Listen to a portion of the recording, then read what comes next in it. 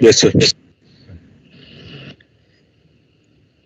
So guys, we are going to start with a Node.js and we will, because we are a little bit behind our schedule, so we'll try to stretch uh, today at 4.30. So we'll cover cover up most of the things of Node.js. So in uh, on Monday, you have the test and the test will cover also the Node.js till today, right? So test is on Friday, Okay. 28. Okay, it is on Friday. Test. So I'm going to start with the Node.js thing first of all. What exactly the Node.js and um, what sort of applications we can build on the Node.js. So Node.js is basically we are using it for for because we are using MERN stack.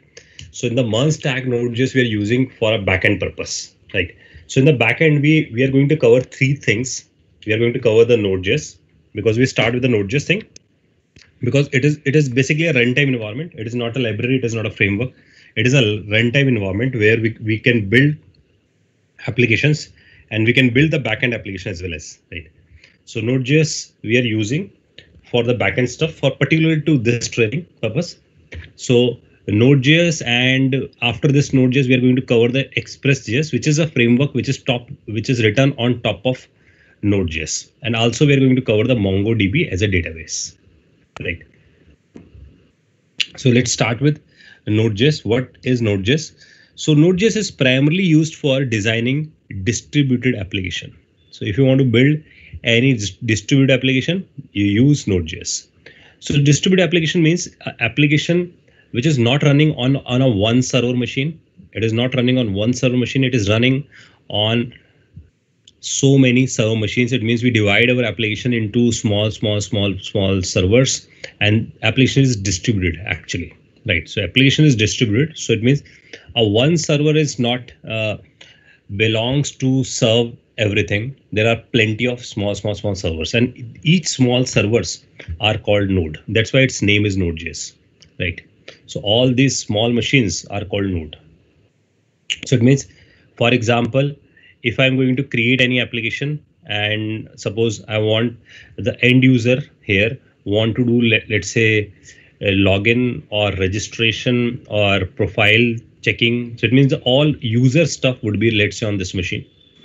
So it means it will have a request on this machine. For example, we have orders. So orders information is coming from this particular machine let's say card information would be coming from this particular machine. So it means we divide our application into small, small nodes. That's why its name has become Node.js. I hope everyone understand this thing, why we are calling this thing as a Node.js. And we are not creating a, any centralized application. It means we are not creating an application which is actually running on a one server machine. Now application is distributed. So it means application chunks are distributed into small, small servers. And each, each thing is called node. I hope guys, this makes sense what is Node.js. So this is the primary definition for Node.js. Now the point is how the Node.js is actually working, right? So Bhavya is saying sharing the load. You can you can say sharing the load. You can also use a word. It is not primarily for sharing the load. It is somehow we, we can say like this. We can say it is not primarily sharing the load. It is basically distributing the things. It means if one point of server is get crash, the another server is, is available, right? So it means we are not putting everything on a one server. So it means if it is it is get crashed, so it would not crash the whole application. Plus there there are so many benefits of dividing application into small small nodes. So it means no single point of failure. That's the first thing. So it means there is no single point of failure because you have multiple nodes. Multiple nodes are running. So if one node just fails, so some other place of the code is run, uh, working, right? Plus you can scale. You can scale one particular piece of code. So it means if this this app, particular application is divided into uh, this server for example this contain let's say orders information this contain let's say user information. And suppose orders are booking i mean uh, there are there are thousands of users are coming and they're accessing the orders. So it means i can scale this machine only instead of scaling all the machines right?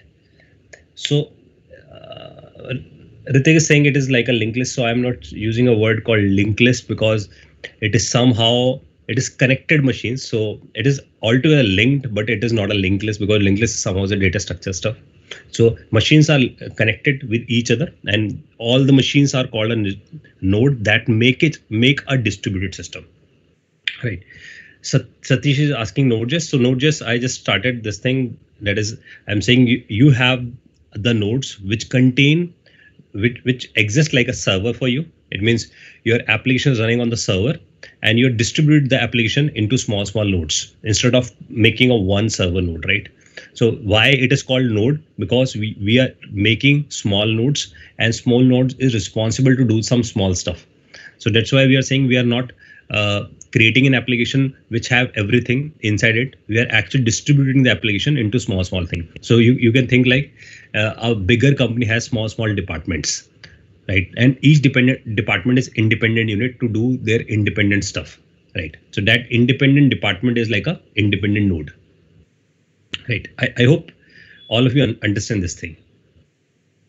So the point is, uh, we understand what exactly the node thing. Now the point is how the node is working, how we can use the Node.js stuff, and why the Node.js in the picture. So Node.js is somehow is we are using for the server side thing, right? So for server side thing, we have another choice. We can learn either we can learn PHP, right? Either we can learn the Java, either we can learn C sharp, either we can learn Python, either we can learn Ruby. So we have plenty of choices to learn. So why we are learning Node.js? The first answer is it is JavaScript on the server side. That is the first answer. JavaScript on server side. It means you are doing the JavaScript stuff, but on the server side, right? That is the first answer. Second is we already understand we can create a distributed system easily. So distributed application can be built easily. Third thing is because it is using a JavaScript stuff, so it has the feature of asynchronous. So it do everything in a asynchronous fashion. So it, it is usually doing asynchronous IO. So the input output, I mean, reading a file, it is always async. Writing a file is an async. Database read write is an async. That's why I'm using a word called async IO. So if you compare with a C language or C++ language, or if Java language you use, so most of the time you are using synchronous operations. Database handling is mostly on the synchronous side. File handling most on the synchronous side. And right now, the newer version of Java provided the uh, new kind of IO which provide the async stuff, but uh, on the beginning stage they are providing the async stuff, uh, syn synchronous stuff, right? So it is providing the async IO. It means asynchronous input and output they provided. Fourth, it, it providing the event handling, but this event handling is on the server side event handling. So it means it has the async IO plus it has the event handling right so they provide this thing so if, if you just walk through with a thing which which i have written here. If you just uh, walk through with the thing so I, I just clear this thing first of all. And i just go to the official website of node. And i just want you you will read you all of you read this definition which is provided by the node.js so node.js is saying it's a runtime build on chrome v8 javascript engine. So it means it's clearly stated Node.js is a JavaScript runtime which is built on Chrome V8 engine. So it means behind the scene, what they are using, they are using the same engine that is a V8. As you know, JavaScript uh, has a Chrome and uh, sorry, uh, Chrome Chrome has a V8 engine, right? And which is a world fastest engine, right? So Chrome is a world fastest engine. Chrome has a world fastest engine that is called V8. V8 is also consumed by the Node.js. So Node.js is built on top of V8, right? And if if we just walk through this uh, about section of the node so they are they are giving a definition. They are saying as an asynchronous event driven javascript runtime. So it's they are clearly saying we are asynchronous. So it means they do most of the operation in a asynchronous manner. So it means if you do file handling you are reading and writing in a asynchronous manner. You are doing the database thing it is in a asynchronous manner. Plus they are providing the event driven programming. So they are providing their own event driven programming. So it means it is not like we have used in the JavaScript click event or change event. They have provided some server side events. So we are using some server side events, right? So they have provided some server side event plus they provide you to write your own custom event. So even you can create your events. So if anybody asks to you what kind of language, I mean, what kind of uh, feature uh, Node.js is providing, it is asynchronous, it is event driven and it is using JavaScript runtime, I mean the V8 engine, right? And it is built it is designed to build scalable. Scalable means when the application is keep growing so it will work for the growing application. So that's why that's why it is also for a scalable application. So i hope everyone is understand because we already spent so much time of asynchronous. We have done the callback promises these stuff. So it means node.js is also asynchronous. Event driven we are usually used like on change click. These are the event driven thing. Plus it has a javascript runtime. It means the v8 we are working on the v8 stuff right so how this i mean how the node.js is differ from others right? So that, that is the most important thing for all of us. How it is differ from others. So if instead of node.js if we learn php or if we learn java or if we learn c sharp or if we learn let's say python or some other language. So why we learn this node.js node.js saying i am a single threaded. That's the first point. But this is not purely true thing. So it is saying i am a single threaded so single threaded means you already know it use something called event loop. This is the same architecture we have covered in the node.js right? So they are using event loop. And event loop you already know this is called single thread right? Single thread right? It is a single thread and it is an infinite. I use a word called it is an infinite loop right? It is an infinite loop because it is keep moving. And this loop is the responsibility of this loop is to read the event queue so it means when whenever any event is happen it is in a queue. So it use event queue. So all the events are going in this queue right? So the main responsibility of event loop is to read the queue. So it's it's an old diagram right? Which i created. Now the new thing is whenever a users for example you are on internet and you have plenty of users right? So plenty of users you have. And when the users requests are coming when users are making a request so all the request goes in a queue remember this thing. All the request of the users will go in a queue right? And event loop is responsible to read the queue. So it means if you have thousands of users all users requests are going in a queue. Queue is read by whom? By read by event loop right? Now the point is if event loop is going to read a one request, so it will be hang because second request cannot be taken care by any, any other because it is it is reading by whom? This request is reading by this event loop, right? Now the point is if this this request is taking long time, it means this request is of of a nature called intensive nature, right? If this request is in form of intensive work, intensive work means if you are going to read a file, right? If you're going to read a file, if you want to do any database level operation if you if you just figure it out any database level operation is primarily is a read and write operation right so can i say file read and write database read and write network read and write makes sense so it is it is primarily all of these operations belongs to the read and write and i hope you everyone you know the read and write operations are pretty much slow because if you're doing a file read and write so it means anyway you are going to read from a disk and you already know the disk is pretty much slow things. CPU power is much, much higher compared to the disk power. So disk disk things are slow, right? So it means file is read from the disk, database is read from the disk. Network is not read from the disk, it is from separate, but it is again a read write operation. So that's why I just named it. It is intensive operations, right?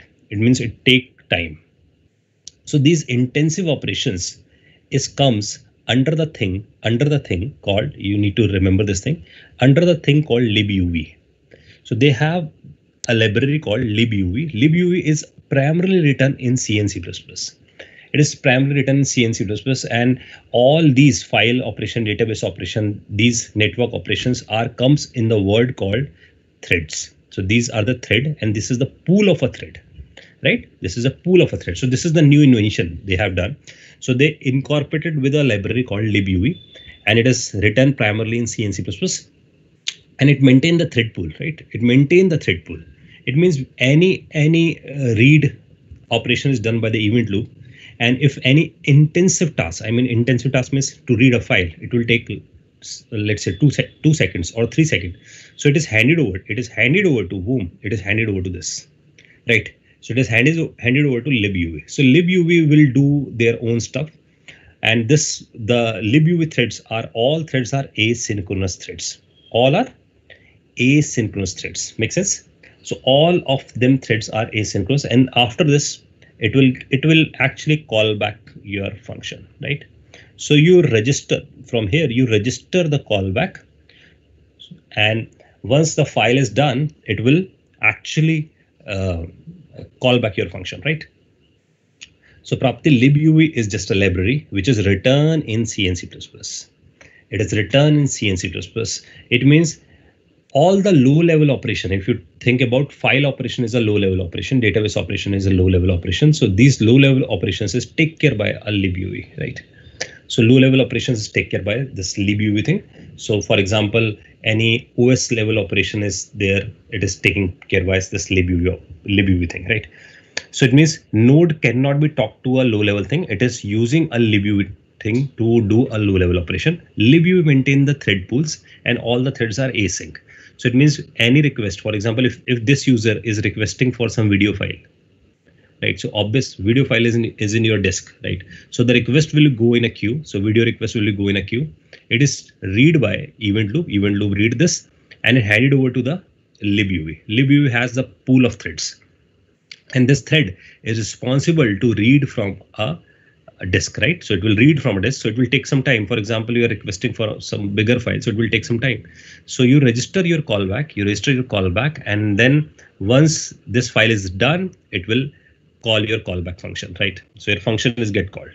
So, so this is how this libuv will work. I, I hope you understand the use use case of the libuv.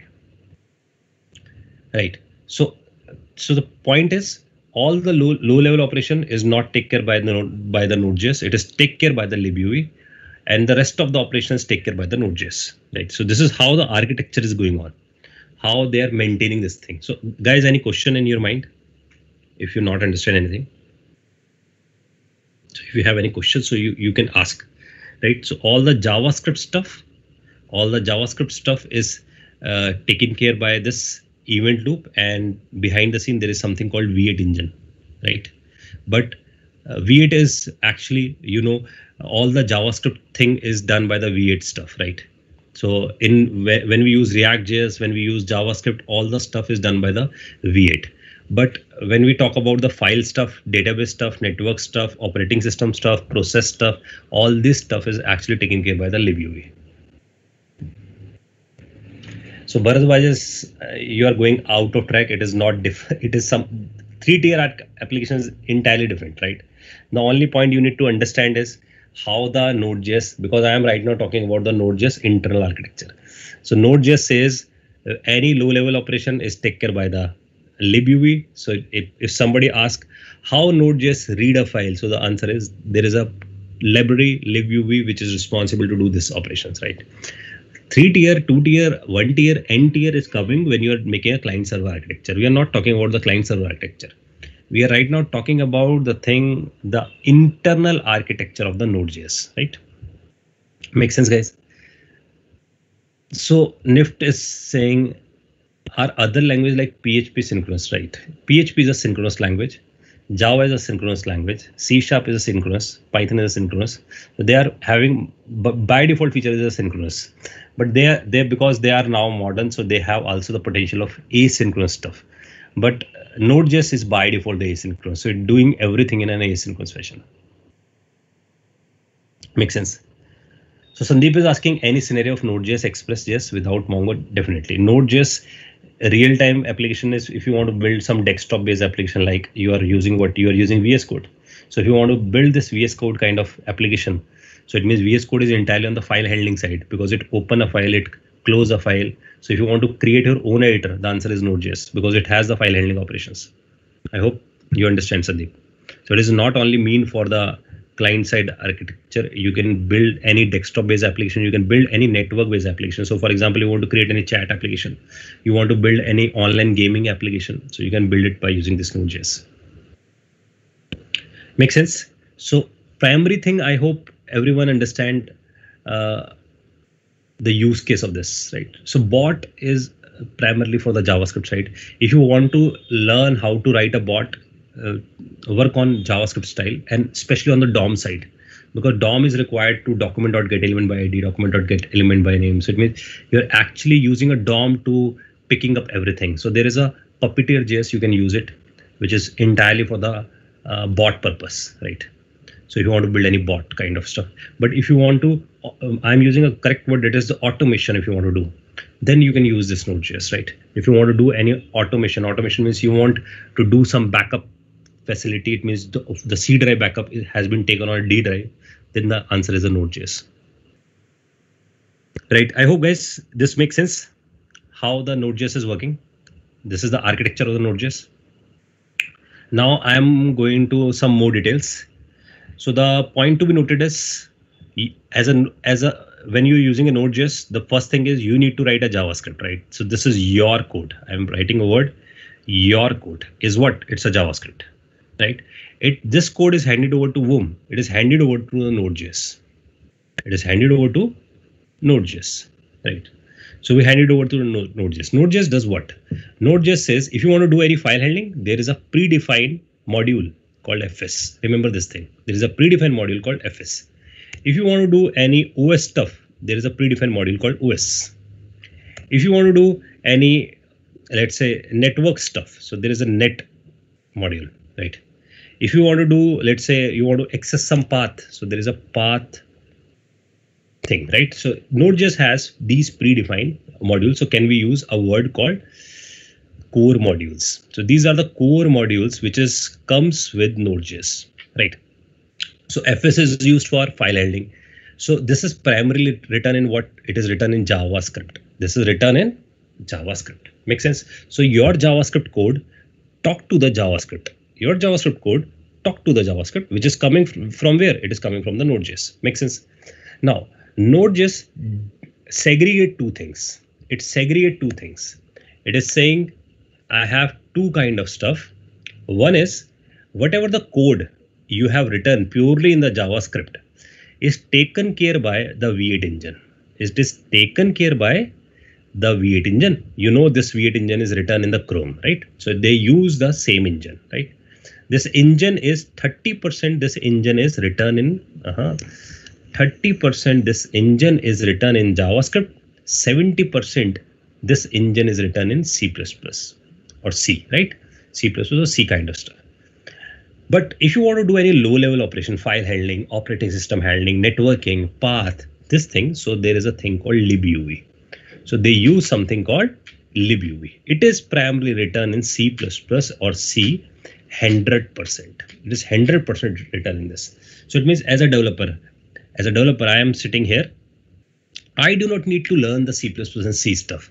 I will learn only the JavaScript and I use the Node.js thing that is already already written in the JavaScript. Makes sense? And I call the JavaScript stuff internally it is converted into the libuv. Makes sense? It is internally converted into the libuv thing. I hope everyone understand this thing.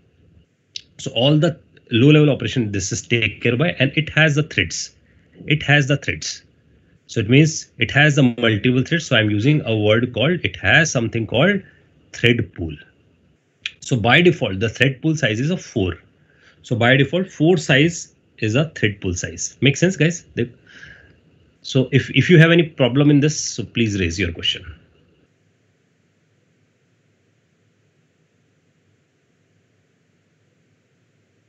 Make sense? Single asking Node.js not work in other browser like Mozilla?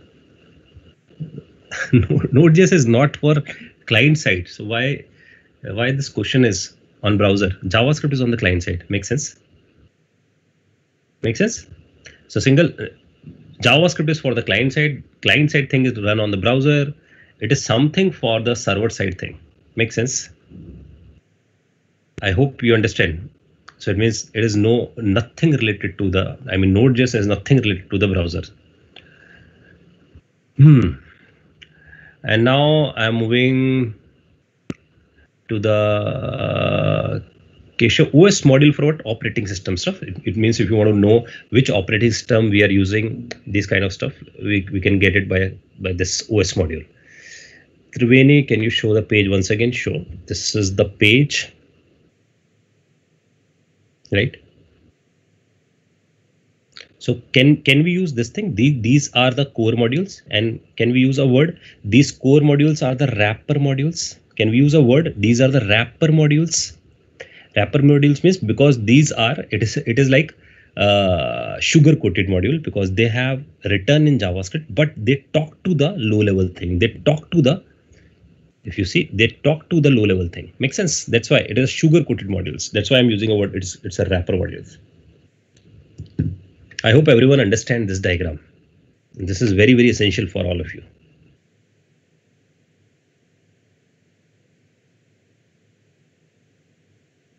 Just um, Bharatwaj is saying this means Node.js is only a library of, of functions. You're saying this? So we can, we can say Node.js is a library plus environment because it has a V8, right? So way, it has a V8, so it has an environment, it has a libuv. That's why I'm using a word, not the library is the smallest thing.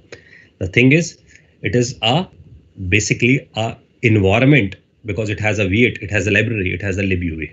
So it does so many things internally. So Bhavya is asking V8 is for our JS code, right? Absolutely. And the low level stuff is taken care by the libuv.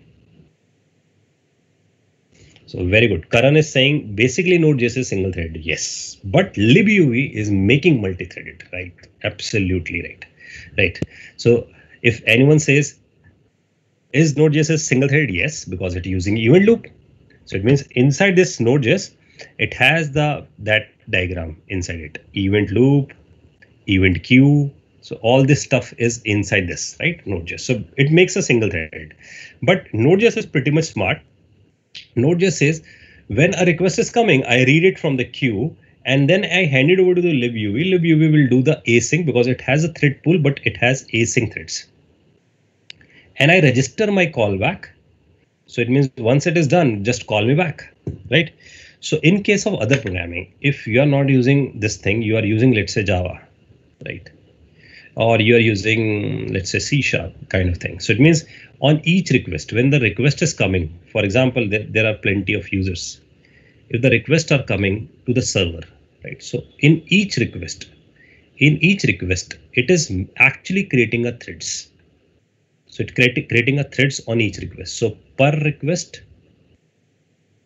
per thread.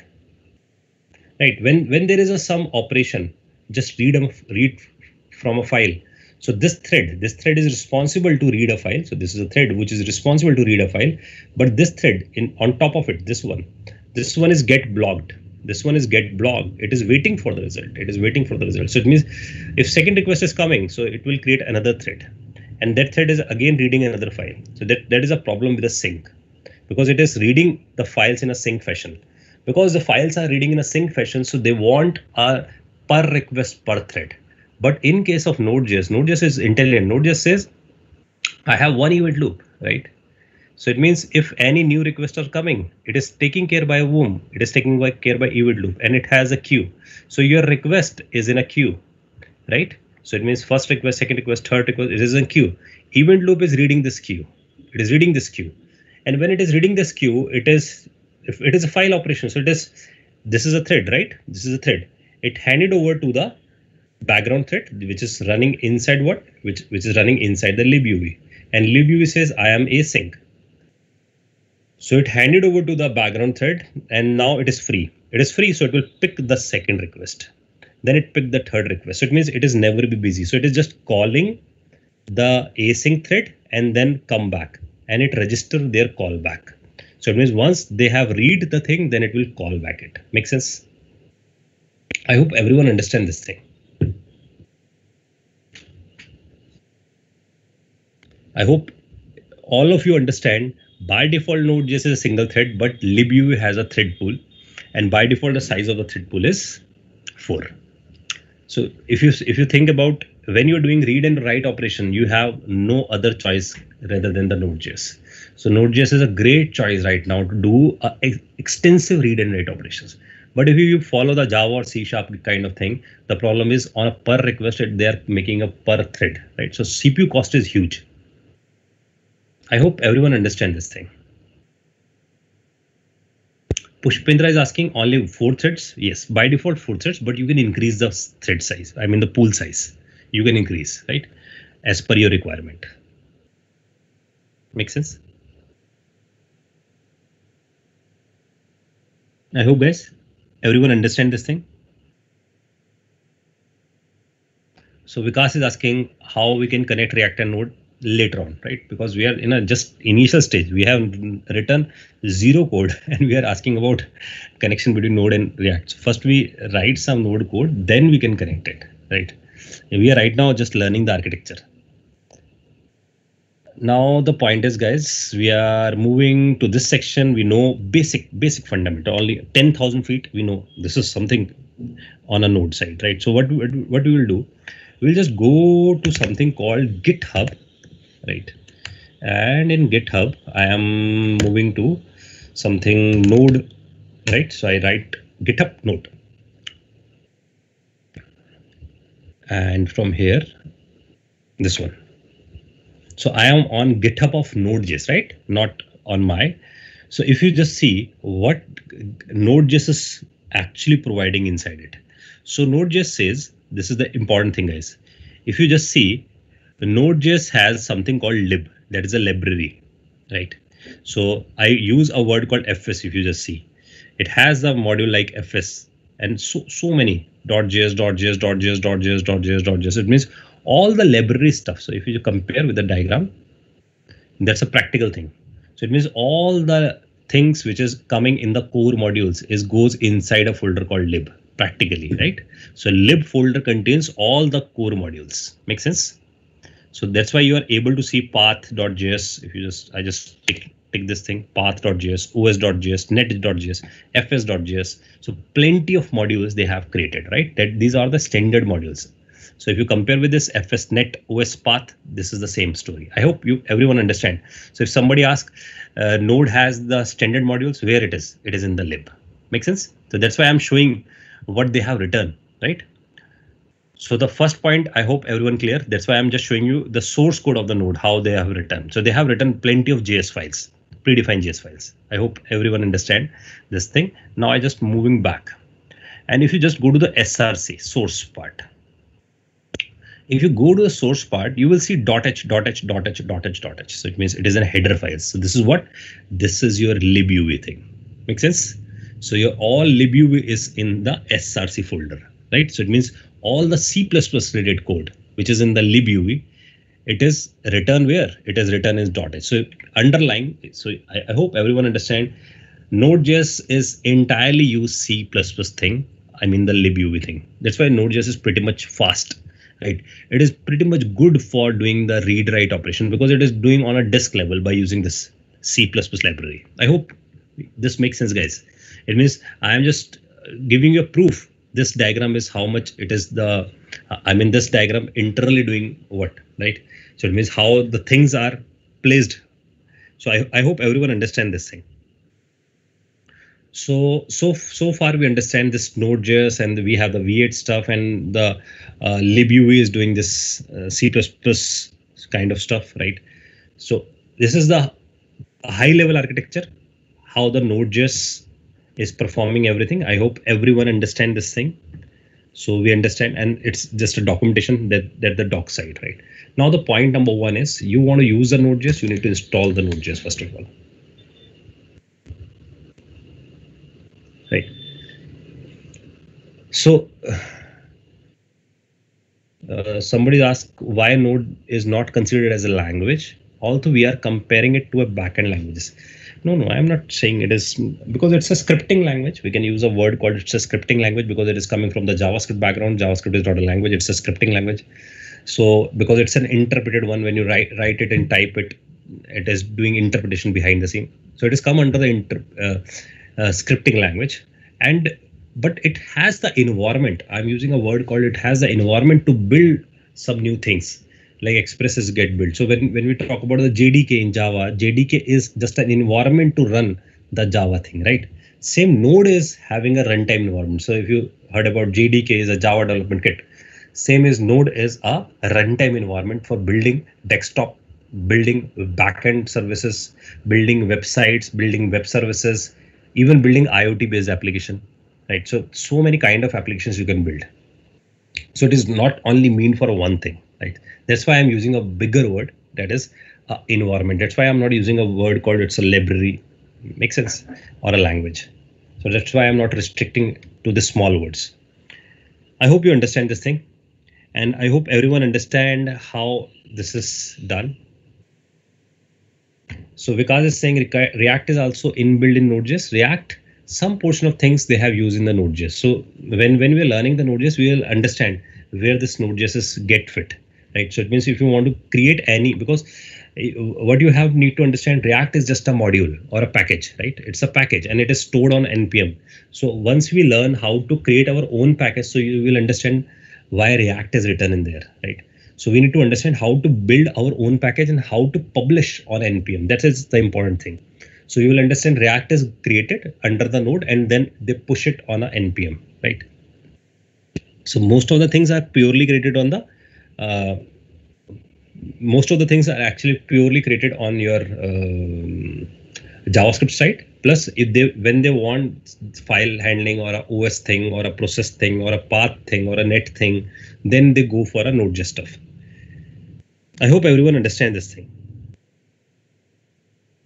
I hope everyone know this is a thread pool thing. Now, now the point to be noted is you can increase the size of the pool. It is not mandatory. It is it is a four size. You you can increase or decrease it because whenever you're running your node, node is treated as a running process, right? So node is treated as a running process. So process.env, when you use process.env, then you have something called UV thread pool, right? So you have something called UV thread pool size.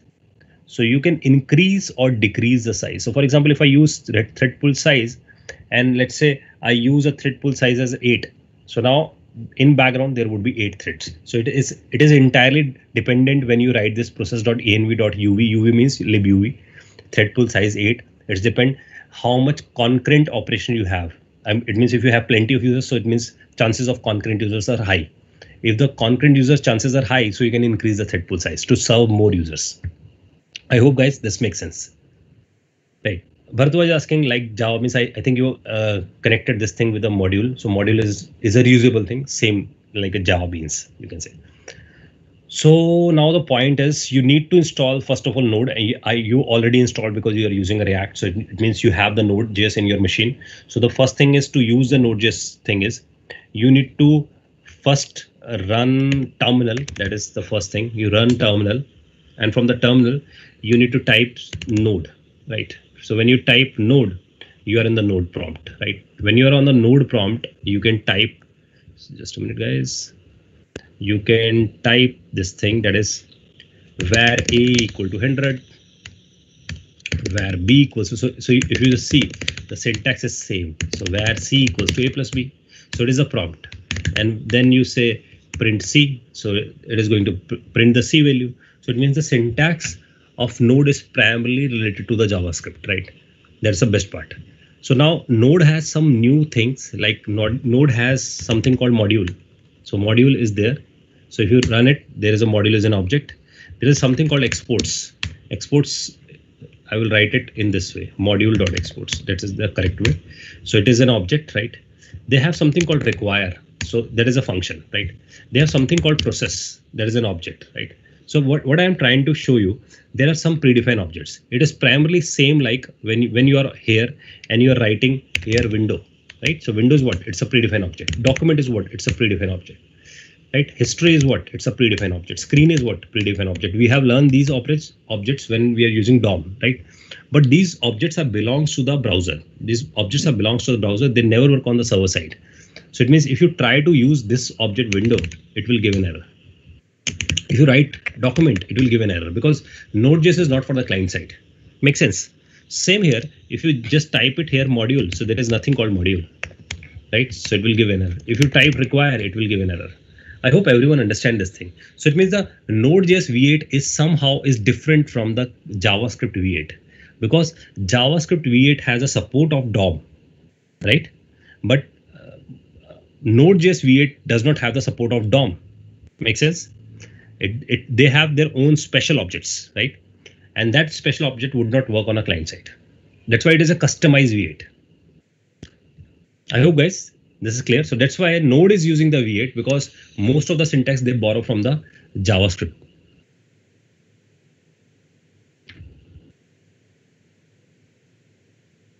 Makes sense. Nitesh is saying video is lagging. Is it? No. All right. No, sir. So Nitesh, can you please check it at your end? Okay. So I hope guys, you all of you understand uh, how the Node.js differ from the JavaScript. So it means, first of all, if anyone asks what is Node, so you know why it is called Node because it is work for the distributed applications and in distributed applications you, you are creating nodes and these nodes are talking to each other, right? That's why we use Node.js. And then we understand why we are learning Node.js. Even there is a Java, there is a C Sharp, there is a PHP in the market. Why we are learning? Because it is entirely for the async stuff. It means it is doing the read write operation in an async manner. And it is a single threaded. Behind the scene, it is using a libuv. That libuv is async, so it means it would not hang my application. So it means it never blocked the thing. So it means it is working on a non-blocking model. That is the important thing. But when we talk about in terms of uh, PHP or uh, when we use a Java or a C Sharp, it is not non-blocking. It is a synchronous style of coding. Makes sense. So that's why we need a multi-threading system. So it means per request per thread they are creating, but here one event loop is smart enough. It is not creating a new, it not creating a new thread on every request, right? So it means it is pretty much good choice when you have lot of read and write operation. So when you have a lot of read write operation, it is pretty much good because there is an event loop behind the scene and it it would not hang up because on each request it is handed over to the libuv for intensive operation. Libuv doing the background stuff in an async manner. So event loop is free and event loop can take a new request. I hope all of you understand this this thing because event loop we have already done in this JavaScript style async thing we have done. Futures i mean the promises we have done the callbacks we have done. So we are talking the same terminology here on the server side. So it is pretty much easy to uh, grasp the all the things right? So let's start with the first example of the node.js right? So we are we are here and uh, from our project here i just cross this thing and here i just create a new folder called node demos. So let's start with our first program. So in node demos, first.js, right? And this first.js, I will say var a100 var b equals to 200 var c equals to a plus b, and I'm saying console.log sum is comma c. So if you just see this code, you will see it is 100% JavaScript, right? It's a 100% JavaScript we are writing. Once you write this code, now it's time to run. How to run it? Not with an HTML because it's not a client side, it's, it's a server side, right? So just uh, open the terminal. So view and then terminal or otherwise this shortcut key, right? It means control and uh, backtick, right? So from here, I just go clear it and just go to cd dot dot I mean exit from the folder, go to cd node demos. So I am here in node demos folder, this one, right? In node demos folder, I am here. And from here, you need to type node, node, and the name of your file. That's it. And it's showing sum as 300. Make sense? So Bharadwaj is saying database connection string is defined. Yes, of course, database connection string is defined by the Node.js. So it means uh, connection correction URL would be in the Node.js, but the database is the Mongo, which we are going to use. So I, I, hope everyone understand how to run the Node program. So it means you write a Node program and just save it with a .js file and then run it with a Node and then file name. That's it. Makes sense. Now we, we will see how the async stuff will work. To understand this async stuff, we will understand the file handling demo. So I will just use file.js now there is some important stuff I want to communicate with all of you. This file.js, which we I, I'm specifying, I want to use file handling. So so think about if you are in a C language, if you are in a C language and you want to use graphics in C, right? You want to use graphics library in C. What would you what would be your syntax to use graphics in C? What do you need to write to use the graphics.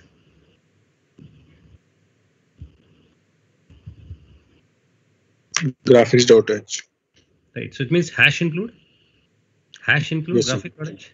So oh, what is the impact in your mind when you write hash include?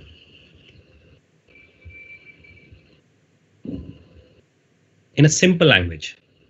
what do you understand by when you're writing hash include? Can we say it is like importing? We are importing a library, right? So it means we are importing a library in our program. Makes sense? It is same like import statement we have used in a React. Import statement we have used in a React. Same here. Same here. We use something called require. Only only think about the English. Require. So it means I want to require a library. Library name is fs. Library name is fs. You already seen in your GitHub, right? In GitHub it is showing fs.js. So fs is the name of a library which we are acquiring acquiring in our program. Make sense? And it give what? It give an object. So it will give an object. So I just put it in an fs, right? Make sense? Now I am just printing console.log and I'm saying console.log and type of type of fs, right? So I am just printing type of fs and node first.js, uh, not first.js, wrong, node file.js. Make sense? node file.js. So it is saying I am an object. So what it give, it will give this type of as an object. Makes sense? So we have this object. Now the point is fs has plenty of function in, inside it. It has plenty of function inside it. Right. So fs dot read file, right? There is a function called read file. Make sense? So when you use os.read file, so you are going to read a file. So what, which file you want to read? For example, I want to read the first.js. I want to read the first.js. So do right click, copy the path, go to the file.js, paste it here. That's it. So it means you, you want to read a file. Now, when it is reading a file, it is reading in a async manner. This point to be noted. It is reading in a async manner. So it means if you are writing here console.log before before read so I'm using before read, right? And here I'm writing after read, right? And in between I'm reading this thing. Make sense? So I'm saying uh, this is the path. This is the path. So I just make it easy. I can just make it easy. I say const path and paste it here. This is the path. And I'm reading what? I'm reading this path. Make sense? So I'm reading this path so it is it is asking when you're reading this path because I am a async. I am async. So why not you specify the callback? So I specify the callback. So this is my callback. In callback, the first parameter is always an error. The first parameter is always an error, right? So you need to remember. And the second parameter is a content. So it is saying I am going to read a file. It will take some time because it will take them same it takes some time. So I hand it over to the libuv. libuv will do the low level stuff. So libuv just read this thing. Once you read the file, then call my function back. Then call my function back. Make sense? So once it called my function back, so I'm checking if error. If error is checking if error is present. So console.log, I will print error in reading right? Error in reading. What is error? Error. I will print else if the error is not coming. So it means data will become console.log. Data is comma comma content. Makes sense? I hope everyone understand this concept. So what we have learned require instant of import there is something called require right so require and fs and then I use fs.read file, which is uh, used to read a file. I specify the path. It has a callback. The first argument is error. If the error is occurred, if the error is occurred, we print this. If an error is not occurred, then the content, then I will print the content, right? So the out outcome of this program is how the program will work. This whole program, this whole program, when you when you type this command, node file.js, right? When you type node file.js, it has become a process. Remember this thing. Any program when you're running it has become a process right? Process mean which is actually executing. So this this process is executing. Like chrome is running like uh, microsoft team is running. So all are the process. Vs code is running all are the process. Same my program is it itself is a process because it is running. So it, it is a process right? And when this process is running behind the scene it is actually running what el el means event loop so it is running event loop which is infinite event loop read the synchronous stuff. So when the synchronous stuff is coming like require an fs, so it will require type, then it will print type. It will print this path it will have the path. Now, when it goes to this section, read file, when it goes to read file section, it will hand it over to the libuv. So it, it say libuv, take care, just read a file because it is a low level stuff. So you are a C++ stuff. So just go and read a file. Meanwhile, because you are reading a file, I am free. I am free because I am free. So I just jump from this line to this line, right? Because you are reading it in a background. So you are reading it as a background. So you have a thread. I am itself is a thread. I am itself is a thread and I am free and I am free. So I will just go here. When you have done, when you done reading, then do this callback. So the output would be type of first, before read second, after read third. After some moment of time, either the data come, either the error come.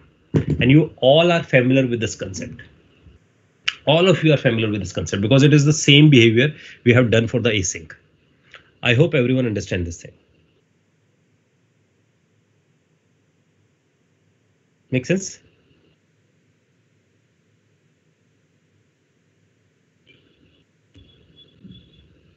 So can can we check the output?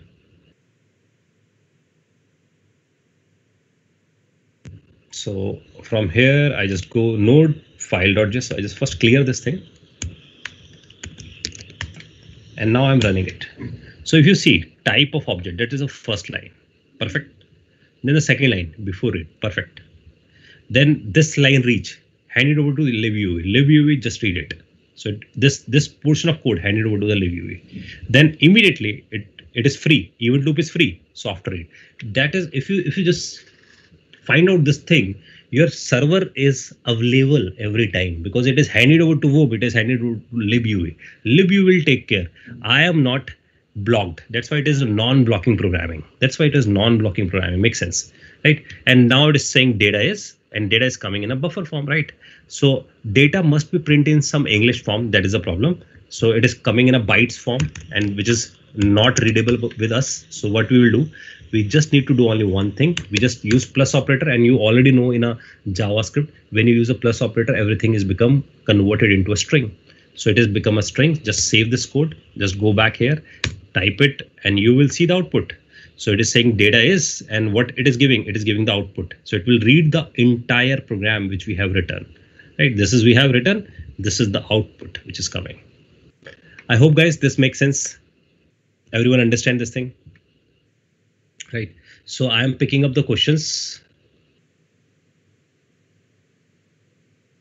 So Bharadwaj understand import include required that's same thing because they are actually just giving a naming conventions right? So import in react include in c or c++ require in node.js right? So but the bottom line is the same thing. So so uh, Bharat was asking node.js include OLEDB uh, what does it mean? I mean i think some somehow it is uh, related to some older kind of databases i think so. OLEDB it is something uh, i think you are asking about something in excel it is something you are embedded some object kind of stuff right? So uh, when, when we're talking about in terms of uh, node.js node.js is using you can use rdms you can use nosql database right? So it has a support of rdms as well as the nosql databases right? And nosql has so many kind of varieties. Bharat, Bhavya is asking, we have objects like function in JS. Uh, objects are just an object thing, right? Objects are created with a function because there is no class, you know, already there is no concept of class. So objects are created with the help of functions, right? I hope. So I mean कि जैसे हमारे पास जब हम जे सिर्फ़ कर रहे थे तो हर चीज़ फ़ंक्शन के फॉर्म में थी। चाहे वो नंबर था या कुछ भी था। तो इसी तरह नोट जेस में भी हर चीज़ हमारे पास एज एन ऑब्जेक्ट होगी। जैसे रिक्वायर हो गया या और भी कुछ है तो वो सारे ऑब्जेक्ट की तरह ही होंगे। No no no. Because require is a function. If you just see here uh, i just i just show you i just clear first of all this thing. And I just type node. And if you type require, right? So you will see require is a function. Make sense? So require is a function. But when you talk about the module, module is an object. So how I identify this is an object because of the curly bracket. So even you can do it by type of module. So it's a mix of the things.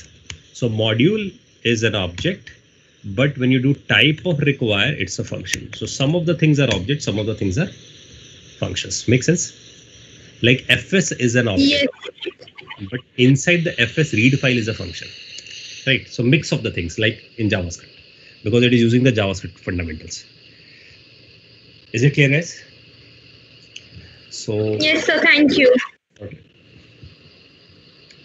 So I hope everyone understand how this thing is working. So now my question is uh, to all of you. For example, if I have this fs.read file and I copy this thing and paste it here, and I paste it again here, right? So I am reading this file thrice, right? So I'm writing one data is, two data is, three data is. Can everyone uh, can see what is going on behind the scene? Can everyone understand what libuv is doing, what event loop is doing? If I am reading the same file, right? I am reading the same file, or might be this could be a different file. But my question is, what is going on behind the scene? I mean, this three read file is taken care by whom? Or these three files are reading sequentially or parallelly, async, blocked, event loop is reading it, event loop is not reading it. So this is my question. So if can can anyone can predict the output? I mean, what kind of output is coming and how the output? I mean, prediction is one thing and how it is going on. If you know the output, so the question is how. I hope you understand the question because if you if you know how this thing is going on behind the scene, so you actually understand the architecture, internal architecture.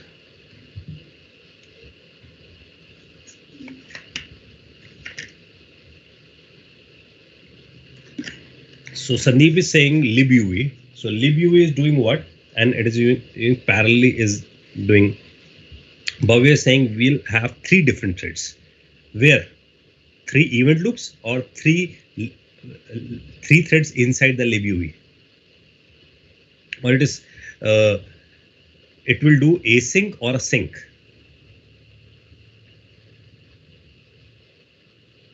So the point is, so I am I am just uh, creating a dia- diagram, just identify how this thing is working. So it means you you have the event queue, right? And you have this event loop. Make sense? So you have the event loop. So when it is reading this file, this this, this, this content because it's a block block block. So this is block, this is block, this is block, this is block, right? So whatever is get block block, it is done by whom with, with event loop, right? When it is reading to this line, fs.read files, immediately it is handed over to whom? It is handed over to libUV. So libUV has what? libUV is like have a thread. So thread is like a worker. Remember this thing. Thread is like a worker, and you assign a worker just read a file. So it is start reading a file. So because you are here, now you jump to here, right? Because libUV is doing their own stuff. So event loop is free. So event loop move to the line number 13. Line number 13, it will hire another worker. I mean the thread. So that's why always remember worker is equal to thread. So when you use a worker word or a thread word, it's same. So we we put another worker and this worker is reading another file. Makes sense? So then it will it will jump it will jump to the next line that is a 21 line. So it will go to the 21 line, right? So it will jump to the 21 line and on 21 line it hire another worker. So one is doing another task, second is doing another task, third is doing another task, and it is reading it. Make sense? Now it will jump to the next. I mean, it will jump to the directly to the console.log. So it means the output would be before read and then immediately after read, right? Before read and after read will become. And then whosoever, whosoever complete their job, I mean, either this one, either this one, either this one, because three of the threads are running parallelly. Three of the threads are running parallelly on the libuv. Whosoever complete the stuff will be come up, right? So it's entirely depends on, for example, if we have three different files, if we have three different files, so uh, might be the first one will be complete first, or might be the third one will be complete first, because the threads are, I mean, when the threads are running, it is under the control of OS, right? So it is manageable by the OS behind the scene. So uh, output of the threads can be anything, but the point is they are running parallelly. So if I run this thing, you will see this is the outcome. So you will see type of object before read, after read. Then the first, because all of them are of the same size, that's why the data is this, data is this, data is this. But if I change the path of all of these files, like we have the path, if I change the path, let's say I am saying just read this index.html or might be this index traditional path is, I mean, it can have large set of content, so it will take some time. So it will be end up at the end. So I just copy a path and, and I just go to the file.js and I paste it here, right? Makes sense? So if, if I run this thing, I just do save and I do clear and I do run. So if you just see it is saying the read this first file then it is so it is giving before read and after not not this one i think so. This one this one. So if you just see data is first first it is reading this thing second file. Then if you see it is reading the third file then it is reading the first file right? So this out outcome will be depend how the threads are scheduled. So if we run it again, so if you see this time, the output would be the first file, then the third file, then the second file. Because I am saying, because this order is dependent by the operating system. So if you run it again, then the output would be first is the second one, then would be the third one, then would be the first one. I hope everyone understand this point. So it means all of these threads are running parallelly. All of these threads are running parallelly. That's why it is giving the output. So if i'm if i'm uh, saying this thing you have you are reading three files right? And the first one first one take let's say because these all are in a parallel fashion. Remember this thing. All are in a parallel fashion. So it is taking three second. It is taking two second. It is taking five seconds so how much time total time they all of them will take to complete all these three files. So it means to complete all these three files, it will take what? It will take maximum five seconds. So it means in five seconds, it will read all of these three files. Make sense? I hope everyone understand this thing. So I hope this thing is clear. So if if this file somebody asked if this file path is this one, if it is having the same path, right? And if I just clear it and run it, so it is first, second, third, because all of have the same kind of thing, lekin. But the point is, it is just shuffling it because I told you it is because of the OS. If you keep running again, so that's why never predict the output of the threads. That is the most important thing, right? I hope everyone understand this thing. So read file is just to read a file and because asking this thing path you need to specify and then specify the callback.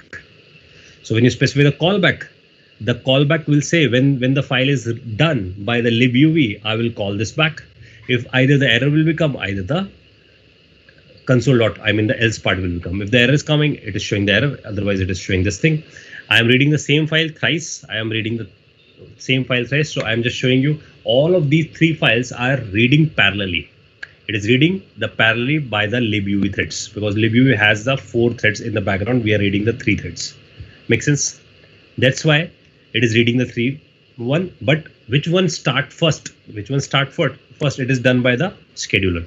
So it's depend on the scheduler. That's why sometime output is coming one, sometime output is coming second, third, sometime third will be first, then the second, then would be the first. Make sense? I hope everyone understand. Now, I, I hope uh, Vikas, you understand this thing, how this read file is working.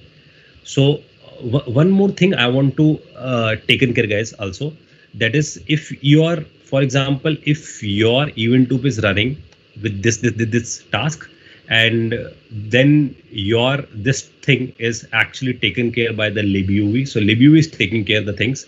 If suddenly some output is coming, and event loop is busy in some other task, so whatever the output is coming, it will be go in a part of event queue, right? So it means if the first file is read, so first file is here. But event loop is busy in some tasks, so event loop will do their task. Once it is get free, it will read the queue. Make sense? So because always the first parameter is always error. So node is written in this style. So the callback first argument is always error. Remember this thing.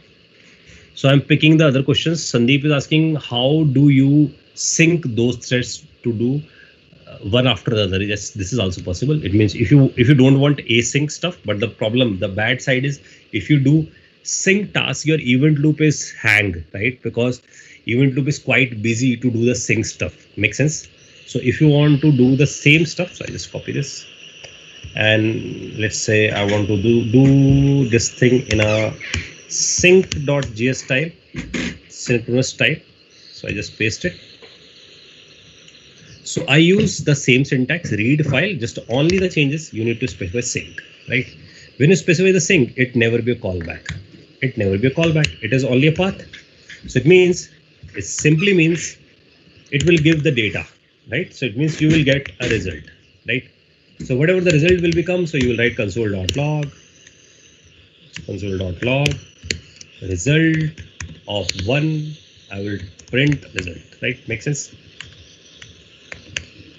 So I just copy this thing, paste this thing, paste this thing. So it means one after the another it will work. So in this case, your event loop is always waiting for the result, always waiting for the result. So you need to just you need to just say where I will say because I will keep changing this thing. So where result, I copy this thing, paste it, paste it. Makes sense? So result is are coming and I'm printing it. So I will omit this thing because we are in a different file.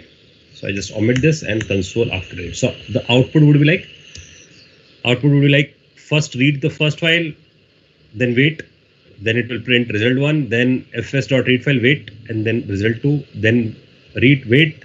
So read wait print, read wait print. It is like this.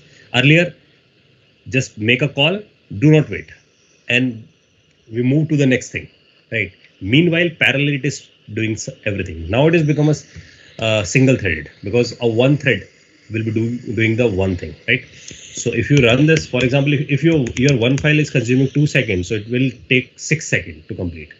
Make sense? Because it is not parallel now. So from here, I will write node and I will say sync.js, right? So it is printing before read the result of one, the result of two, the result of three, then after read. So if you run it again, the same outcome every time. I hope Sandeep, you understand this thing. And this is coming in a byte form, so you can use plus operator, so it will give an output in your form. So another question is, is it possible that any of the thread is executed by the libuv before after read is printed in the console? Uh, the point is only because event loop is busy in their stuff. So if event loop is not busy in their stuff, then there is chances. Makes sense.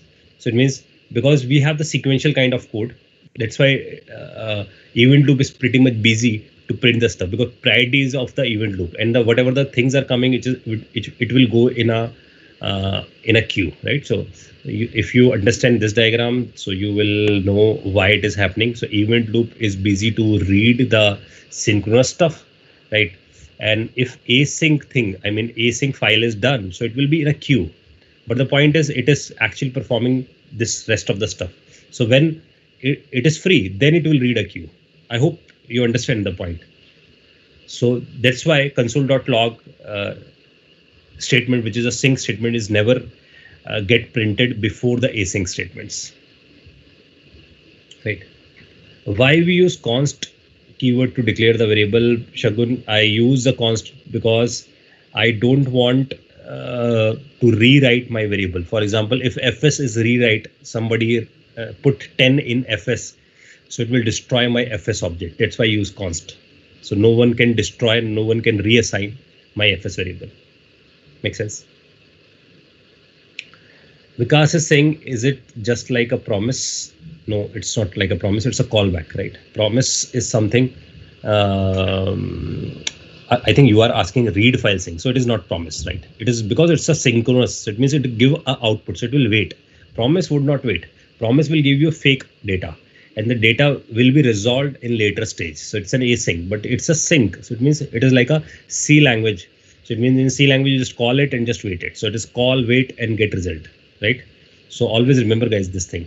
Sync is like call, wait, and result, right? Or yeah, error, right? Async is like call, no wait, so you either use callback or either you use promise for this. Make sense?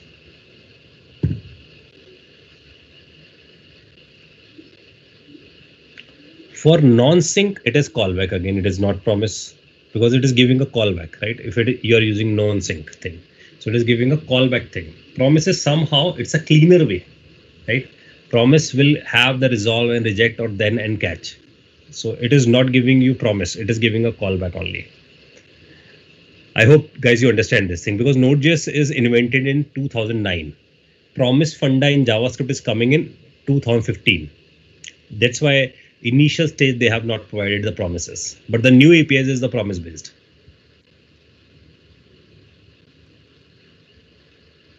Make sense? Bhavya asking, can you assign only one thread for calling same function instead of three? and display thrice. So this is the one, but if we use this kind of syntax sync, sync, sync, so it means we are doing everything with a one thread. Make sense? So if it is uh, parallelly, so it would not be sync, sync. So it will do the parallelly. I hope you understand this thing. Right.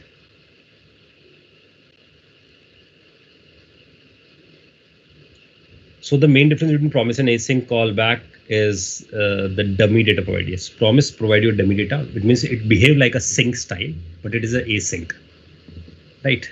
So it is the uh, the style of the coding is a sync style, but it is a async behind the scene. I hope you understand this thing.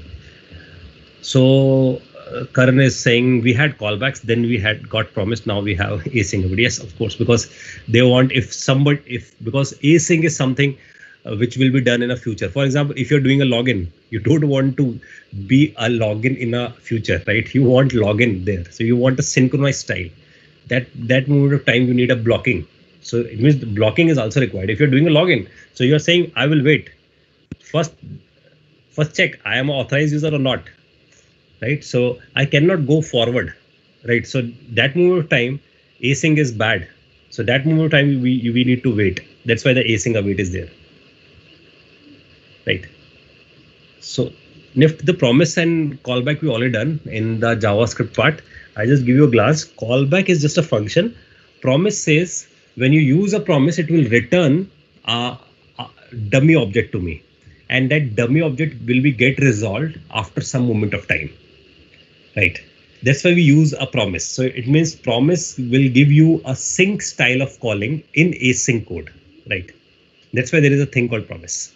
So promise is, is you can say it's a cleaner way, little bit compared to a callback. So we will learn the promises also here again because we have done in the JavaScript. So we will learn it again uh, when when we use some uh, some sort of API which is providing the promises. Like when we use Mongo, so they provide most of the time promises. That more time we'll use. Make sense? Bhavya asking compute the function only once. This one? Okay, I, this is, I think you, uh, you are asking, I call this three, three times. I just want to simulate the difference between sync and async. That's why I'm calling thrice, right? Just to show you the difference between the sync and async. Because in the sync, if the first while taking uh, two seconds, so the second is also taking two seconds, so it will wait it. So the third will take two seconds, so it means total it takes six seconds. But if it is a parallel, so it will done everything in a two second. Right. I hope this thing is clear, guys. I hope you have the flavor how the sync and async stuff will work. Right. So I, I hope you also have the flavor when you are using this um, file stuff. I mean, when we are reading this file stuff. So we, we have two choices, either the sync style, async style, or either the sync style. I hope you everyone you know how the libuv is working, how the event loop is working, how the event queue is working right? So this is just a kickstart thing which we have covered right now. Now the point is if uh, we are using this file and suppose I am going to read a file which is very, very big, right? Which is very, very big. And I want to read that bigger file. For example, in my machine, um, if I'm going to read some bigger file, um, just just a minute i will just go to read some some some some sort of bigger file so i'm just checking out is I have any any any file which is very very big.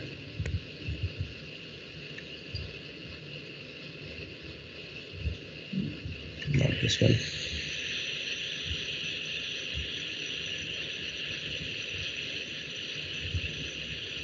So I have some big files. So at least we understand this one. So I have this this this these are my recordings so let's say, suppose this one, 912 MB, this is some bigger file. So I just do right click and here, let's say, I just go to this, uh, just go to this right click and I do, so I use my class recordings, right? So this is a movie file actually. So I want to read this movie file, right? So altogether it is not going to play the movie file until we have the client side because we are using a server side so it is not going to uh, play this movie file right? But I, I want to read this file. So for here I read I just make it big file .js and suppose I use fs and I'm supposed to read a bigger file. So I use const path and this is the path of my machine. So I just paste this path right? So I'm going to read this bigger file I hope everyone understand this thing. So this is the file, just cross this thing. So to read this file, um, I just write fs.read file, right? I want to read it in a asynchronous style and I specify path and I specify the error and the content and then the arrow function if error so I will say console.log error in file read comma error. Else, uh, if the error is not coming, so I will say console.log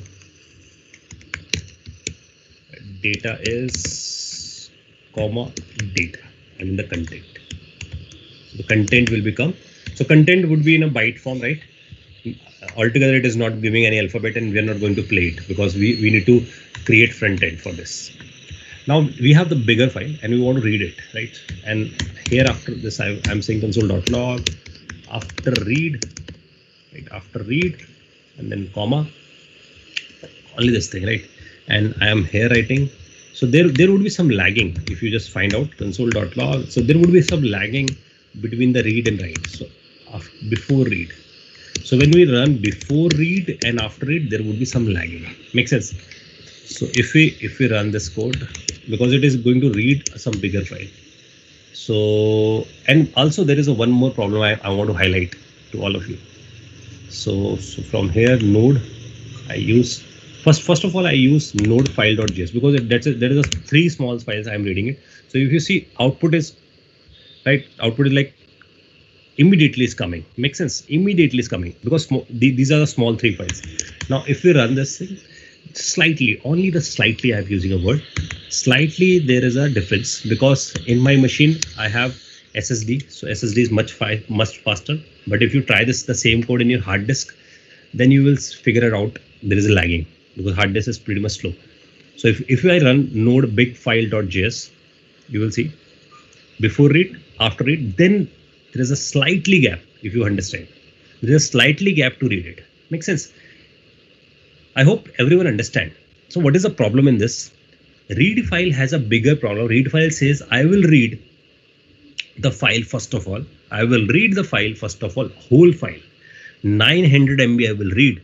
Then I will intimate you. Then I will intimate you this is the content. So suppose, think about. If you have 4 GB file, think about if you have 4 GB file, it never read because computer cannot read 4 GB file in a one go because when it is going to read the 4GB file, it is going to create a buffer. See here, it is going to create a buffer of 4GB. It is not possible for a computer, right? Because we have limited disks. I mean, we, we have limited RAM size. Makes sense. So it has a limitation. If you have a very, very big file, in my machine, I do not have right now a bigger, bigger file, which is a 4 GB or 5 GB kind of space.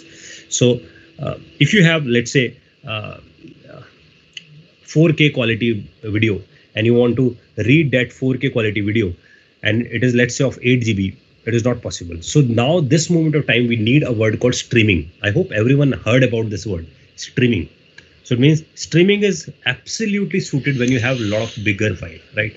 Your file is much, much bigger. Then you use the word called streaming. So it means streaming means it is like a river. River is streaming the water, right? Same, we are streaming the data. So we can work on very, very, very large files if you're using a streaming funda, right? So if you're going to read 5 GB file, 10 GB file, it is possible by using a thing called streaming. FS has another thing. So can we say read file is good for small files? Can we say this thing? Read file is good for small files. If you have very, very big files, you cannot read it. So that's why you need something called streaming. So we will use the word called streaming. So I just commented on this thing and I am here using fs fs dot read stream. So this will create something called read stream create read stream, right? So this will create a stream and I will pass a path here. Make sense? And what you have now, you have the stream. I hope everyone understand the word called stream. And this will help us when you when we are going to stream a video from the server. So think about right now we do not have server. When we learn the Express, we, we have the inbuilt servers functionality because it has an API to build things. So we use the thing called stream there, right? through stream we can streaming the videos we can streaming the audios. So because audio video files are big one. So we cannot use read files. So think about you are on a youtube and you are going to read you are going to let's say you want to watch some movie and that movie size is of let's say 8 gb and uh, it is taking plenty of time to load. Let's say 15 minutes to load and you just see 5 minutes video and you think it's it's uh, it's not up to mark. So but the point is 15 minute wait and then you will see the video and then you discard the video after watching the five minutes. So what do you want? You want only the five minutes or 10 minutes that get streamed. So at least i can watch five to 10 minutes. Then if i like it so continue the streaming. Otherwise i discard it. Makes sense. Bhavya is saying video is lagging. I hope. No, sir.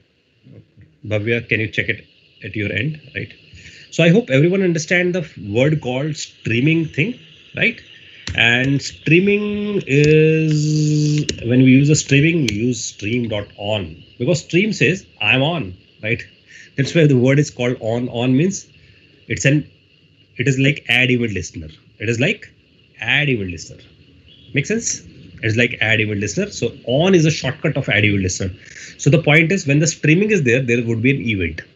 When there is a streaming, there is an event. So event is say, uh, is this streaming is going on? Yes, yes. So I will say data. So data means streaming has the event called data. Streaming has an event called data.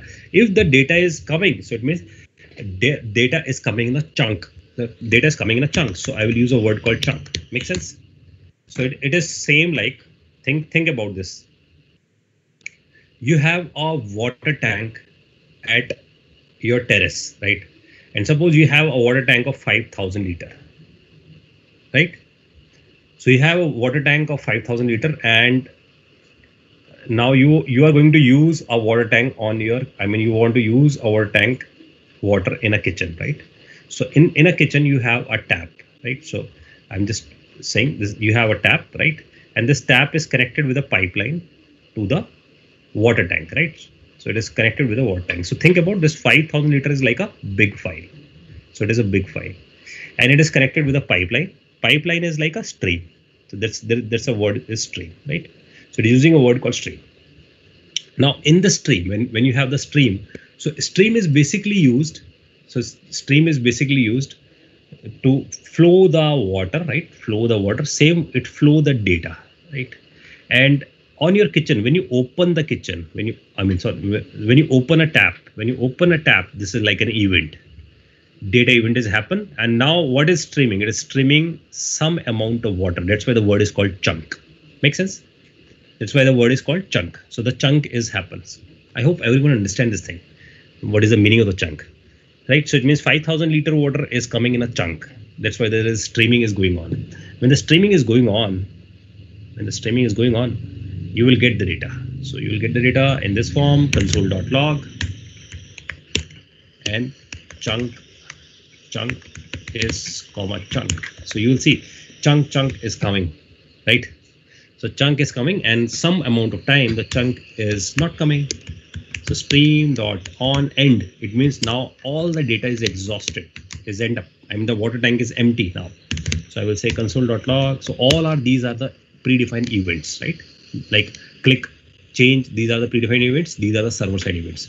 So from here I will say uh, now the point is stream is end. I hope everyone understand this thing.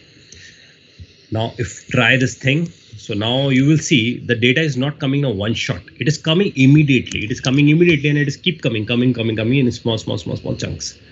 So it is well suited for bigger file. You will see. Right? This is happening behind the scene. So coming, coming, coming, coming, and then end. Make sense, guys? I hope streaming, if you try in other programming, you will understand how difficult is the streaming. But if you try in a node, node is best suited for streaming. So if you try to build any video streaming website, you are trying to stream the audios, this is well suited because it has the facility of the streams. Now, for example, this is a read stream. You want to write it somewhere. You want to write it somewhere. This is also possible. So you can, you can even write it somewhere. Bhavya is asking chunk is predefined. No, chunk is just my variable name, right? So I just want a meaningful variable name. That's why that's why I use a word called chunk. You can specify x, y, z, anything. Because data is an event. This chunk, if you see chunk and arrow function, that's a callback. So it is a callback. It means whenever the data is coming, it will place the data in a chunk. So you can use x, y, z, and anything. I hope, guys, this thing is clear. This is how it is working. Now, now the point is, for example, you want to copy the data for example, I have this bigger file in my machine. So Vikas is asking how many events? Plenty of, right? Plenty of events are there. So stream dot on data is there, end is there, open is there, close is there, right? So th there are plenty of events. So recommendation is if you want to go in detail, plenty of methods are there, plenty of events are there. So my recommendation is if you want to read this thing, go to the nodejs.org so from where you can read all the standard modules. So I'm recommended do not read all the because you will forget it. Because when I was fresher, I I'm doing the same mistake because when I read it, I read all the entire documentation. So when I read it for one week, I remember, but next week everything is get forget. So the best best thing is to read it. Just create some small projects. When you create some small projects, so you actually implement the API. You know which API fit for my application. So now the point is if you want to go to the documentation, this is docs area. And in docs area, it is showing you API reference documentation. Click on this API documentation reference and you want to read FS, let's say. So this is the file system. This, that's a full form. So just go to the file system. So in the file system, for example, you want to read the word called stream. So it has a read stream. And if you see close, open, ready. So these are the name of the events they have created. So if you just go in a read stream, so they are suggesting what sort of events they have created, right? Plus they have suggested what kind of methods they have, right? So it has plenty of methods inside it. But these are which one is fitted for your requirement that is important. So it means any anyway when you when you all of you get hired in a company company is most interested on the core concepts. I mean the base fundamental concepts are pretty much crisp. Like if somebody asks is node.js a single threaded?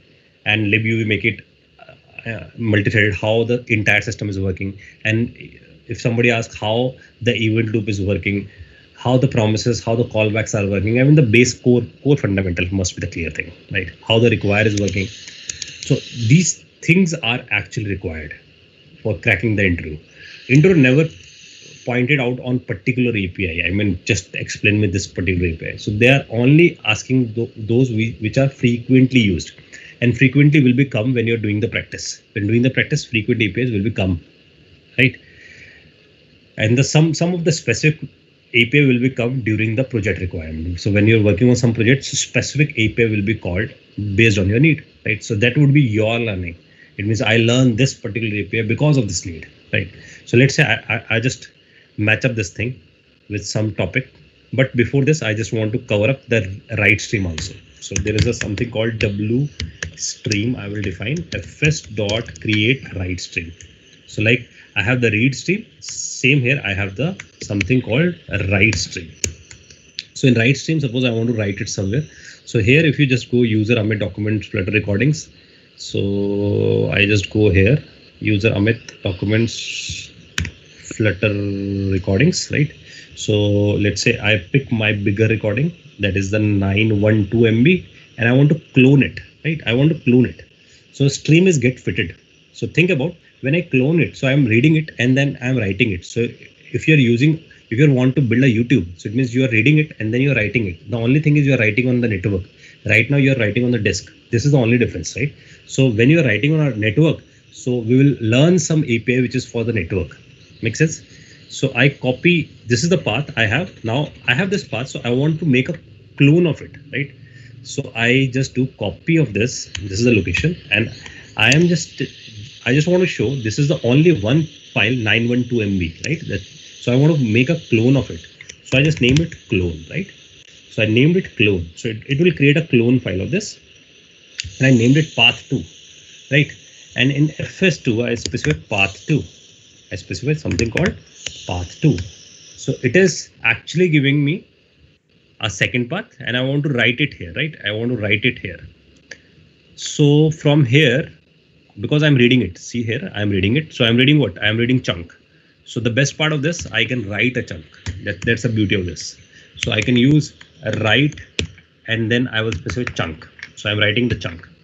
So it means reading a chunk and I'm writing a chunk. Make sense? So I'm reading a chunk, writing a chunk. But if you compare with a read file, if you compare with the read file, read file has a problem. Read file is actually going to read a file. Once it's it complete the entire reading, once it complete the entire reading, then it will start writing. So for reading it will take let's say three seconds. For writing it will take another three seconds, right?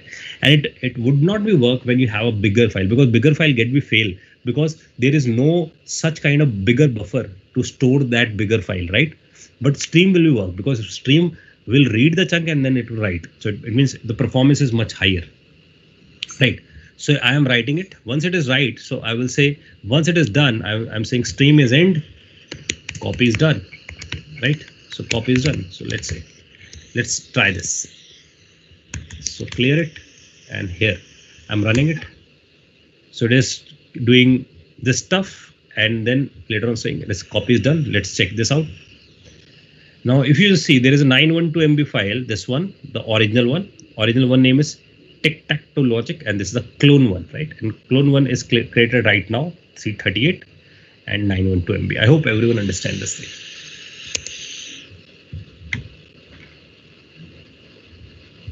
I hope guys, everyone know how this thing is working and Node.js know this is somehow it's a bigger code. So Node.js know the pain of a developer. So what they have done, they have done this thing. This is the magic guys. They have done this magic. The magic is they are saying specify the read stream. Read stream is what? A stream, right? And that's why I give you a story of a pipe. I mean, I give a water tank and pipe story. So that, that's why they have used a word called pipe. And then I say W stream. Makes sense. That's it. So this is they have. If you see the beauty of the code, they have just specify read stream pipe to the right stream, right? Read stream pipe to the right stream. So they are making a pipe between these two, and whatever the code I have commented out here, they are doing all of this code with a single line.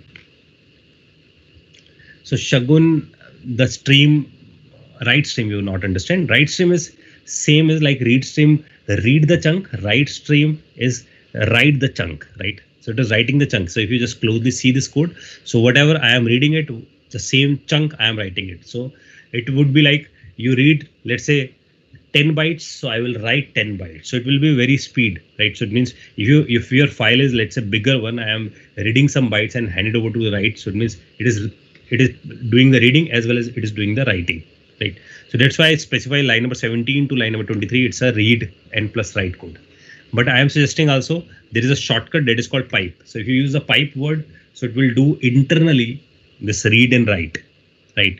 So it means line number 17 to 23 would be get commented if you use the pipe word. I hope guys, you all of you understand.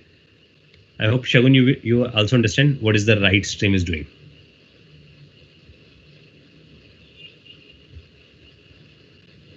Any question, guys, so far?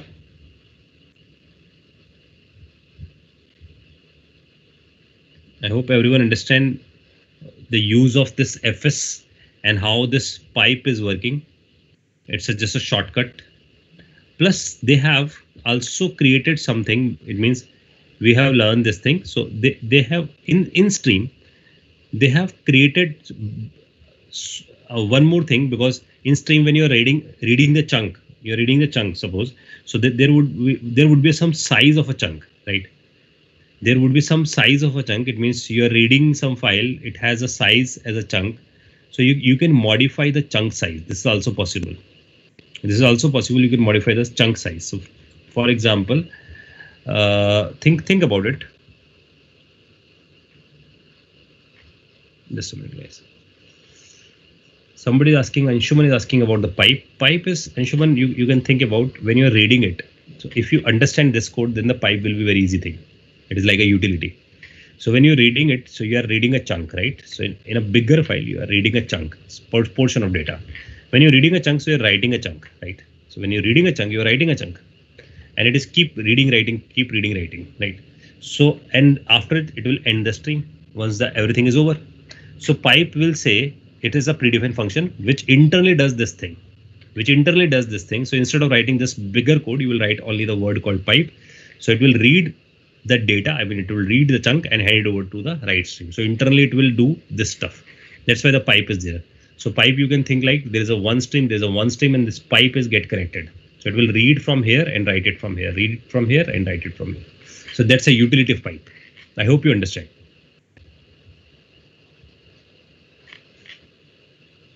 Now the thing is, uh, this is what we had we have understand the read stream and the write stream word.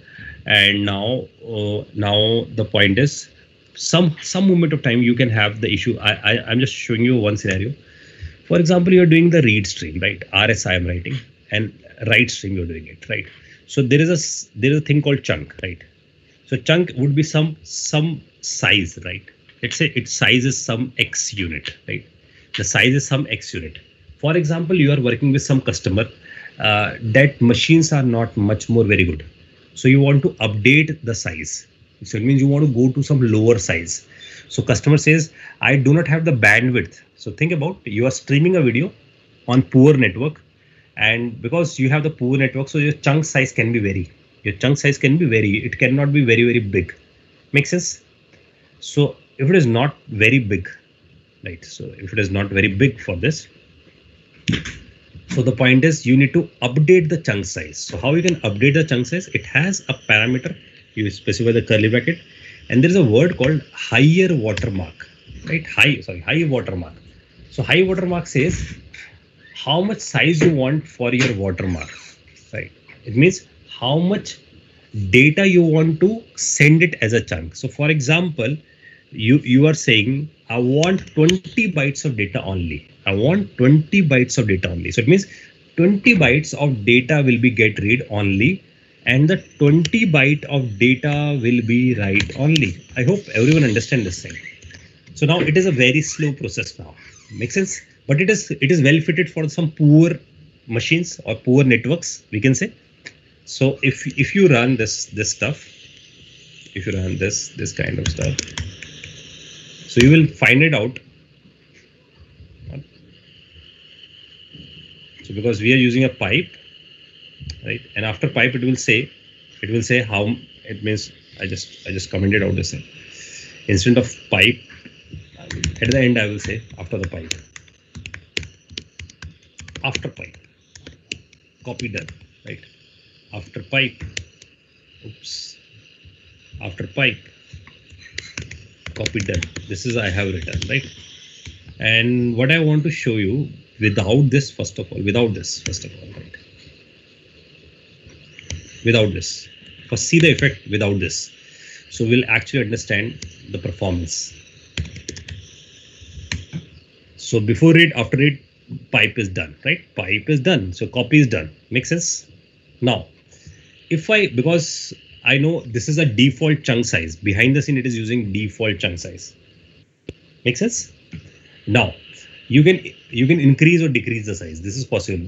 Bhavya is asking the same thing. So, Bhavya, either you can increase the chunk size or you can decrease the chunk size. It means you are on a better machines, and better machines can have better bandwidth. That moment of time, you can increase the watermark size. So high, higher watermark size can be increased. So for example, in this stage, I will write comma, paste, comma, paste. Now, if you see this thing, if I run this, so it will it will hang here, right? It is taking a lot of time because it is just reading 20 bytes and then sending 20 bytes, then reading 20 bytes, then sending 20 bytes. Makes sense. I hope everyone understand what is the utility of the high watermark. So this this utility high watermark. Hello. Sir I am saying कि अगर जैसे मैं high watermark जो right के लिए है I keep it 40 और जो रीड के लिए वो 20 है तो क्या होगा फिर file is corrupted in this case because if you if you read let's say of uh, 40 bytes and you're going to write 20 bytes so 20 bytes of data will be lost So it's vice versa, different. 40 for the writing and 20 for the reading. so it will it will work but it is it is it has the buffer of bigger. The only point is this. It has a bigger buffer but it is taking less data. Right? So it is it is more like for example you you are traveling uh, from delhi to for example delhi to chandigarh and you are uh, traveling with two people but you hire a bus. Right? So it means the rest of the things are free.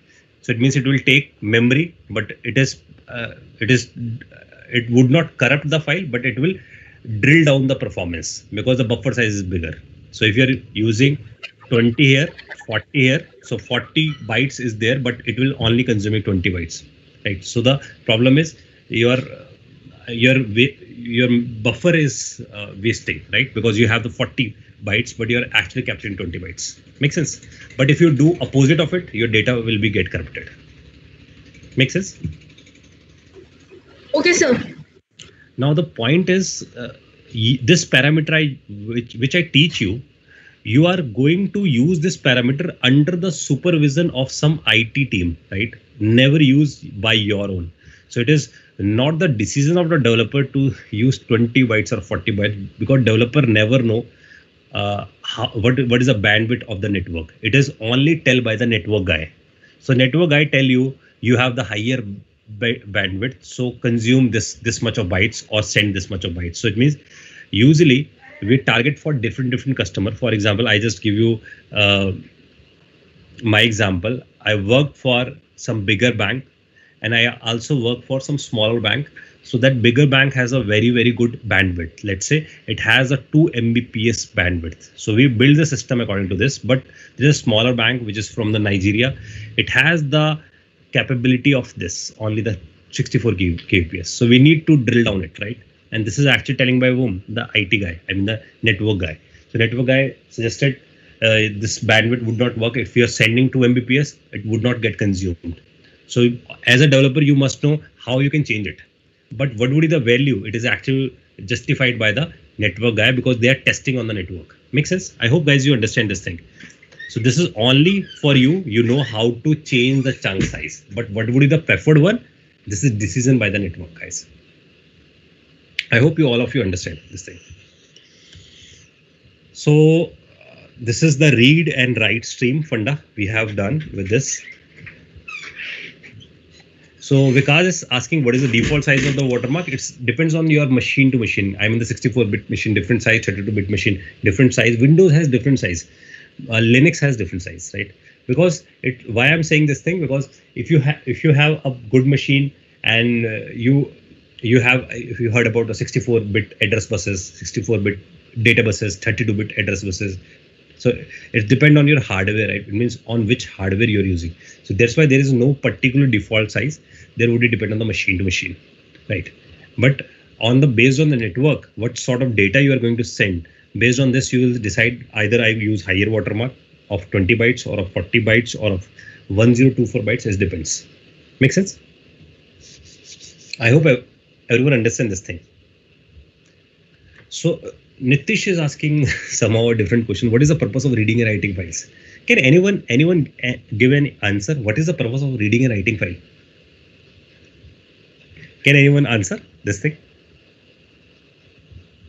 Is the file because in college we learn C and we learn file handling. In C++ we can do the file handling. So Lakshay is smart. Lakshay says streaming videos because you already know. I give an answer. It's a video streaming is done with this, right? So input output. So the best example is so uh, Nitish is asking this thing. So I just give the best example that is Nitish, if you are opening any website, any website, even Google. So Google is sending what? It is sending the page. Page is what? It's a file. So behind the scene file handling is going on. If you open Flipkart, the home page is coming, coming with a lot of images. So it means all of these images are sended. It means it is reading and writing. Make sense? So it is all about the file handling. So if you don't know file handling, no server is get created. Make sense? I hope everyone understand this thing. So you cannot create any server, you cannot do any streaming, you cannot upload it, you cannot download it. Makes sense. That's why we are doing this file handling stuff. Database is basically used to store the records. Makes sense. So you want to work on the data, then you need the database. Right. But why I not started with the database? The, the point is first you learn the database. So we will first learn the database, then we will start it. Make sense? I hope guys, this thing is clear to everyone. So from now I am moving. So we have the flavor of FS. We are we ha, we know how to read and write a file, and we have the flavor. Uh, this thing that is FS is belongs to the standard module. So somehow if I don't want to use standard module, I want to use some third party module. Is this possible? Yes, it is possible. You can use some third party modules as well as. So how you can use the third party modules? To using third party modules, I just clear out this thing just use clear this thing. I want to use some third party modules so i will create a one first first of all i create a different folder. So i just make it consume right? So i make it consume folder and i want to use some third party. Third party means which is not provided by the node.js which is provided by the external. External is what? External is npm so npm js is providing it right? So npm js is providing some modules. So we can use those modules in which scenario these modules comes in the picture? Let's see. So we have this consume oops i think consume is become something else. So consume must be folder right? So that is consume uh, demo. I will create it. This is a folder right? So i want to consume something right? For example i just give you uh, where where this third party modules come in the picture. For example i have a fs module right and I think I need to just go to this here and I just make it uh, demo one.js, right? So from here I write fs equals to require fs. Right. In fs, there is a special method called fs.watch. This is a very good method. So in this watch, I want to watch a file. I want to watch a file. For example, I want to watch is anybody change something in a file. So let's say I have this index.html, right? In, in the in index.html, I just uh, copy a path. I just go to this demo.js and here I use const path. I use something called const path. I paste this path. This is the index.html, right? And I, I am whenever whenever I make some changes, so even I can create a file, file. Let's say I just named it score.txt, right? And I'm saying India score is 20 runs. Suppose this is a file for example, you want to create a cricket website which is responsible to show the cricket score, right? So I have some guy who is actually watching the match and maintaining the scorecard in this file score.txt. So score.txt is to uh, maintain the score. So the point is th there is a guy who is operator who is actually maintaining this file. It means making the entry in this file. Now my program must be smart enough who know if this file is get changed. If this file is get changed, so run this file. So I just say score.txt. So I want to detect is this file is changed. So that's why there is a term called watch.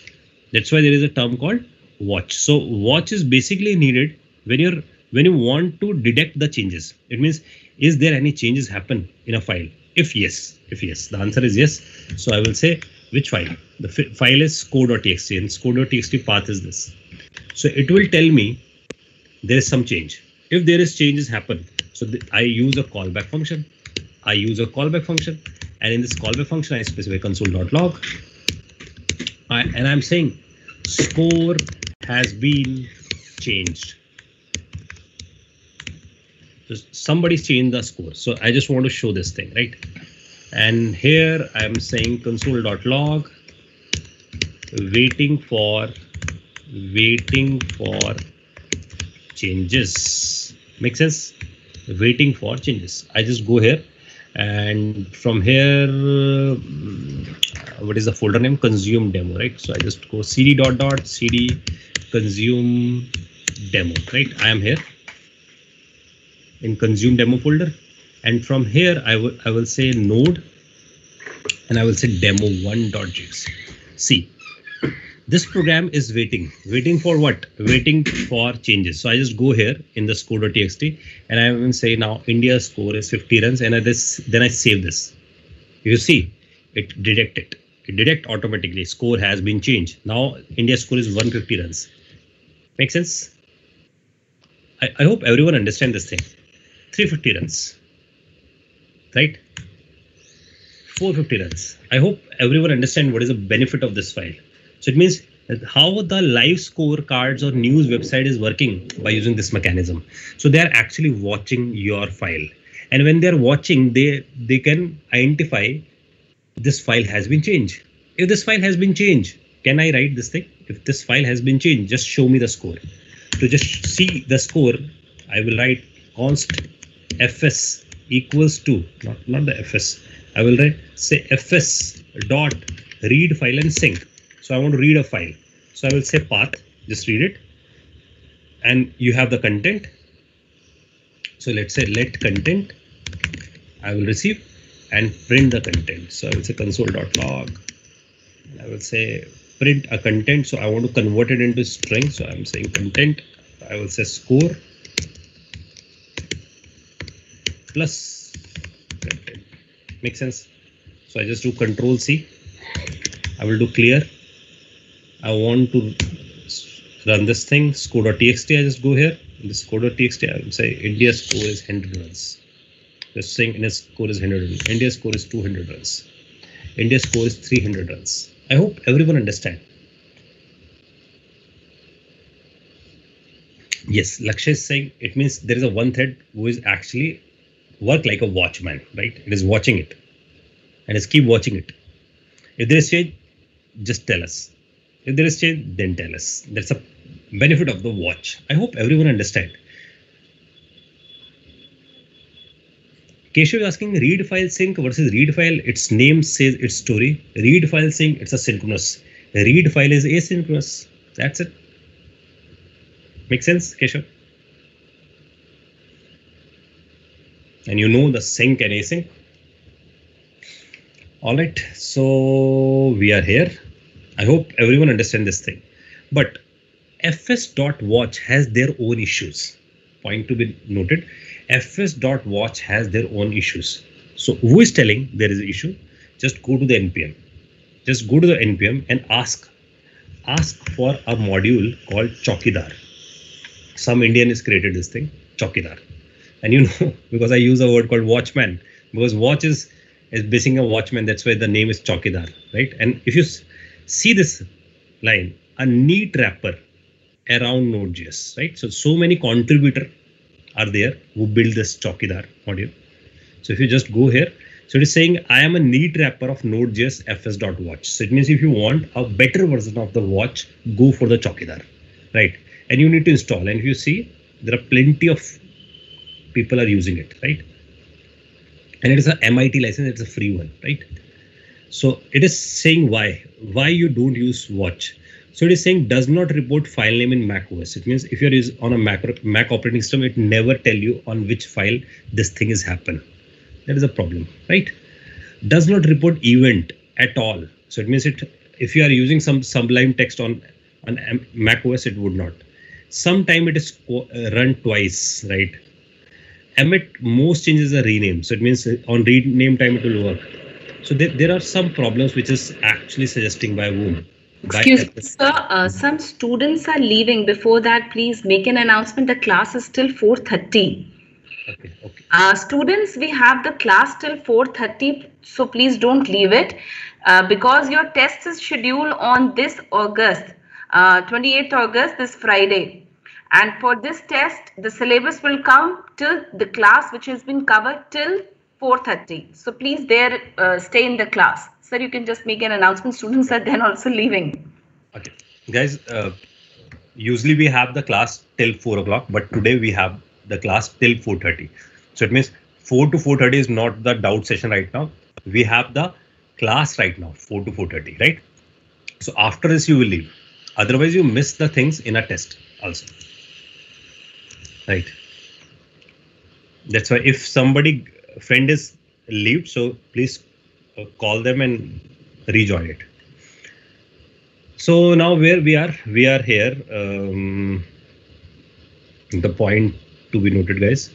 Here, this is the fs.watch, which I'm telling you. There, there are some issues in fs.watch. That's why there is a thing called Chokidar module they have created. So you can use this third-party module, right? So I'm just taking up the question. Chetan is asking when we are using Crick API at that time also it will go like this, right?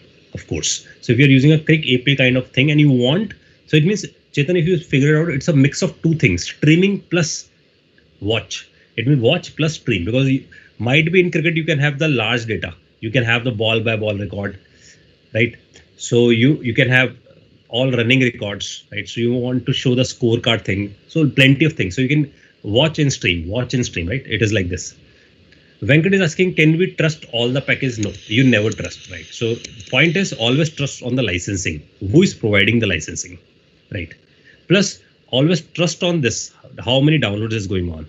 Always trust on how many open issues are there, right? Like it has a 47 issues and how, and also go to the home page of this. So through this, you can figure it out whether you trust on this or whether you're not. Make sense?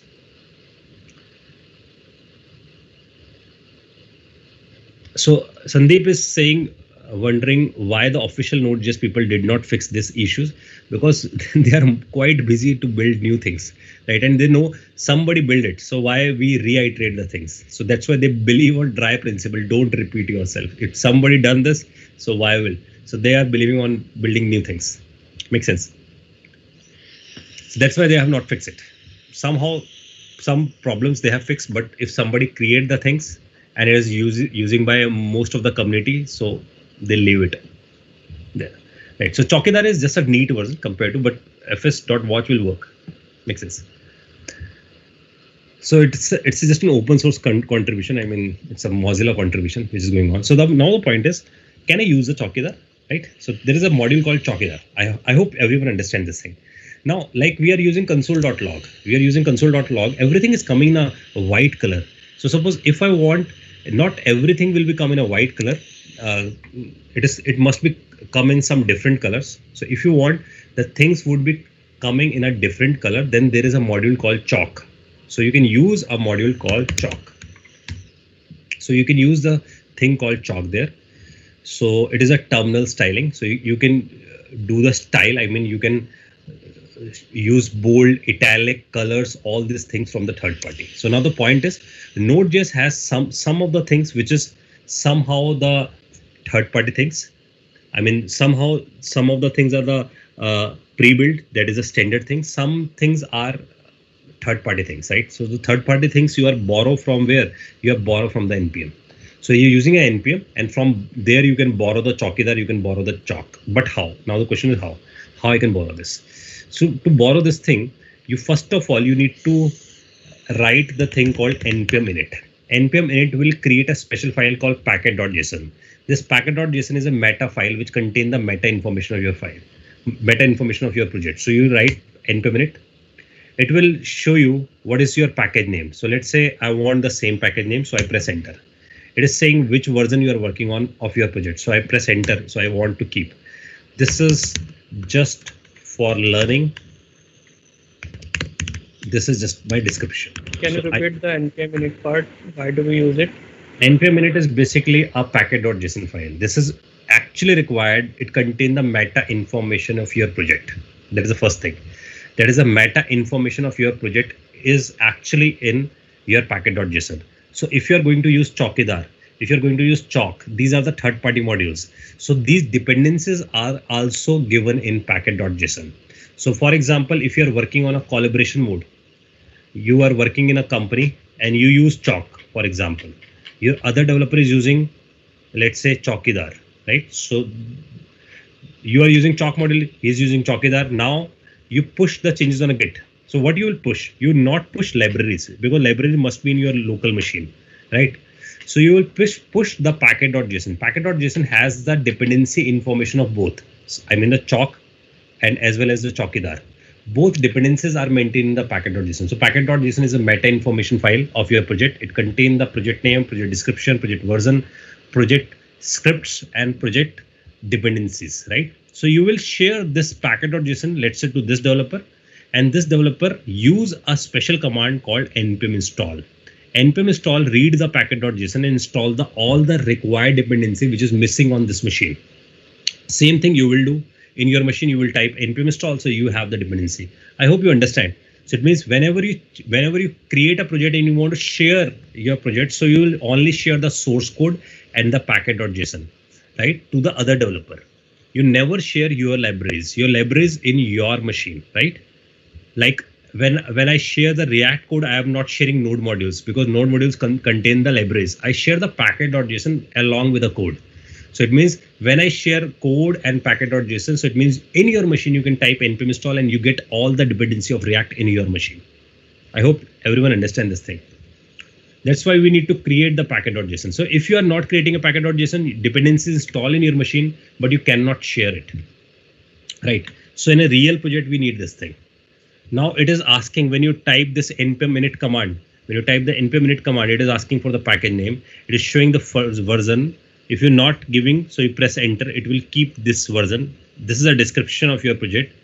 And now this is the entry point. Entry point means which one is the entry file. So you have only one file. So for example, you have 10 files. So which one is, is a starting file of your project. So right now demo1.js because I have only one file. Test command, if you want to do any testing, then you have the test commands, right? So I just press enter. I I am right now not doing any testing. Git repository. If you are if your code is connected with some Git, not so press enter. Keywords. If you want to place this code or over the npm, so how people will search your code, then there would be a key. There would be some keywords. So let's say I'm saying consumer demo. That would be can be my keyword. It's entirely option. And here I will write author name license let's say mit or any license if you are going to require it. so i just keep it isc and then if it is this all the information is correct so i press enter it is yes. Then what will happen? Behind the scene it create this package.json in package.json you have this name you have the version you have the description you have the main file you have the scripts right? You have the keywords you have the author you have the license all this information is here now, if you want to use any third party module, which is coming from the NPM, you need to just go to the NPM, search the desire module, then go to the search result. Like let's say I'm going to the chalk and here is the command like npm install chalk. When you click it, it will be get copied. Once it is copied, just paste it and press enter. Once you press enter, then you will see there is a dependency will be installed. You, you will see here this is the tag is coming dependency. So it means it is saying dependency is coming with the along with the version. So if you want to change the version you can change it from here. And in your machine there is a special folder is created node modules. Inside the node modules you have the dependency right? Inside the node modules you have the dependency of this. Make sense? I hope everyone understand this thing. Is it is it clear guys the use of this chalk along with the version now, if you share, if I share this code, so what I will share with you, I will share demo one along with package.json. And in when you copy paste this code from the Git in your machine, when you create a folder, any folder you will create, and when you are on the package.json, just type npm install. You will have the same dependency in your machine. Make sense? That's why the package.json is there. That's why we are creating this package.json. So I hope everyone understand the dependency funda. Now you have the chalk. Now the, now we start the benefit of the chalk. So if you're using a chalk because it's it's a third party which is not coming with a Node.js because because there are there are around I think there is around 12 lakh modules nearby 12 lakh modules. So if I just show you uh, in npmjs.com, I just go here and let's say I do sign in. Let's say if I sign in with this thing, so you will see around 13 lakh modules. I mean 30 lakh package it has. So so many packages. That that's this is the beauty of this node. So why the node is much much popular in the market because it has 30 lakh modules, right? I mean 30 lakh packages for different different purpose. You have learned chalk, right? That is a one package in npm, right? I hope everyone understand how the why the node is so much strong because it has plenty of things. Now here we are using chalk and I use several times. So I I read this documentation of this chalk. So it it must be first required. And whenever you want to print anything like waiting for changes, so I will use chalk dot red. So I want to see waiting for changes in a red color, right? Then if I use score has been changed, so I will use chalk dot bold. So it is a formatting, right? So it is it is doing the console formatting. Console.log does not have this kind of features. So if I use chalk dot green, so it would be like this. Now if I run, clear this thing, and if I run this code, which is in consume demo, so I will write here node demo1.js. So it is saying waiting for changes in a red color. So I just go in a score and I just write 400 runs. So score has been changed coming in a bold and it is coming in a green color. I hope everyone understand this thing. So somebody created this chalk module and it is quite popular in the market and people are using it. Make sense? So I hope everyone understand this thing how the chalk is working. So same, if, if I'm saying how you can use Chokidar. So the same step, npm install and then name of the Chokidar. So best is rely on the copy paste. So you will not misspell this thing. So Chokidar, go to the Chokidar and here is the npm install Chokidar. So try this one by your own, how the Chokidar will work. So you install the Chokidar. Once you install it, you will see package.json has this module Chokidar, right? So now if you want to use this Chokidar module, so uh, read this documentation. So it is it is saying first require it. Then it is saying what you want to watch. So this is the benefit. It is saying watch dot dot means current directory will watch. So when you use all, that's why it is much much bigger than fs.watch. So it is saying dot current directory on all means all files. It means any file if you change it, this will run. So it will intimate you in, in current folder, if you have thousand of files, any file if you change, this will work. Right. Nitesh is uh, saying chalk is just to make developer happy. No, chalk is very, very important module because if you're doing testing of your application, if the test cases are passed, then it should be coming in a green color. If it is not, it is coming in a red color. So it will actually good for terminal kind of logging because most of the developer work on the terminals, right? So developers see the error in the color form. End users see the error in a GUI form. I mean, the there is a alert prompt will become, there is some dialog box will become. This is for the end users, but for the developer, it must be the color coded. That's why the chalk is there, right? So when you're when we are working on a server and our server is crashed on a server, I mean our server is running, and it is get crashed. So there would be some logs, and the, if the logs is coming in a red color, so I can in thousand of lines I can see this red color is is the failure condition. So you can think it's a rescue for a developer to identify the error clearly in lot of text, right? That's why the chalk is there. I hope everyone understand this thing. So try this Chokidar here and chalk I already cover it, right? So I hope, I think uh, I should wind up on this point of time because um, I talked so many things. You need to digest a lot of stuff for today. Still, we have uh, so many things on a Node.js to be complete. So we'll complete on this, but uh, we will take the test on basis of this because we have at least we have the kickstart of the node.js we have completed so many things on this. So we have cover up the fs api we have cover up the chalk thing. We have we understand the uh, how the node flow is going on behind the scene. We have know the libuv event loop. All of these things are working so anshuman is asking what did worked on mac? Yes it is worked on the mac. But the point is on some certain event for example I, am watching the rename option so there is some problems right? So that moment of time it will generate. It would not trap all the events because on when you are watching a file you can you can have rename option you can have uh, delete option. So it would not watch all the events. That is the issue. That's why it's an it's not a neat wrapper so that's why there is a neat wrapper called Chokidar it Chokidar has so many kind of options. If you just see the documentation it will say you can watch a folder and you can watch inside it you have different kind of files. You want to watch all the files or you want to watch some text files these are the options they have right? So even you have the doubt so you can raise your queries right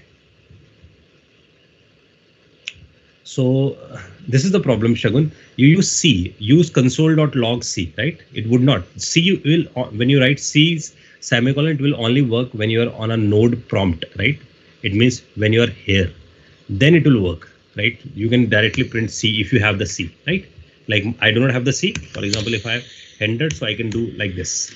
But when you are writing a code, you need to write console.log. Otherwise, it would not work. Make sense?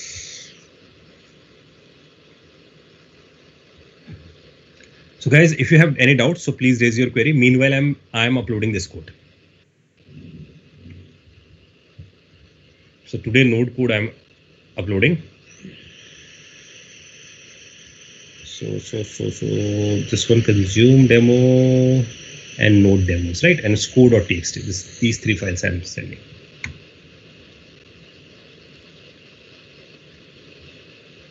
Sunidhi, I uploaded a zip file. If you just check out the zip file, because uh, somehow the Git is not going to upload the nested folder for today. So that's why I make a zip file and then I upload it. So can you check the uh, zip file? Is the zip file has everything or not? because same thing i'm doing it right now also i'm sending zip file because zip i mean git has some issues right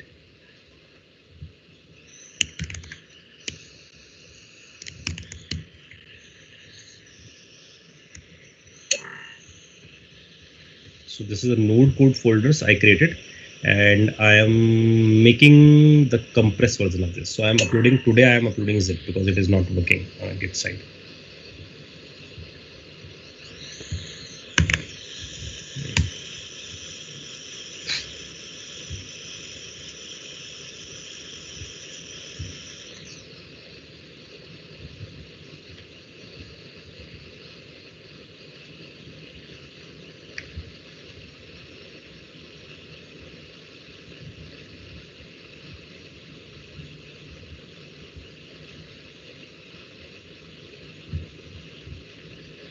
so the zip version for the react as well as the the zip version for the your node right? So you need to unzip this thing. So any question guys? If you have so you can raise your queries. I hope you understand why we are using the node thing.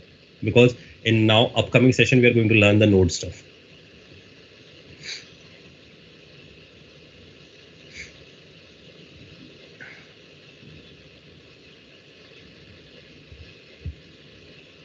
Can you just show me the screenshot? Sir, sir what's the name of the file, the file you have uploaded today? Node demos for Node, and for React there is I think uh, first app something. If you just see, so this one first React app zip that is a React one, and for Node that is Node codes.zip right always refer the timestamp so you will you can figure it out when i load it like it is a yesterday code this is a today code right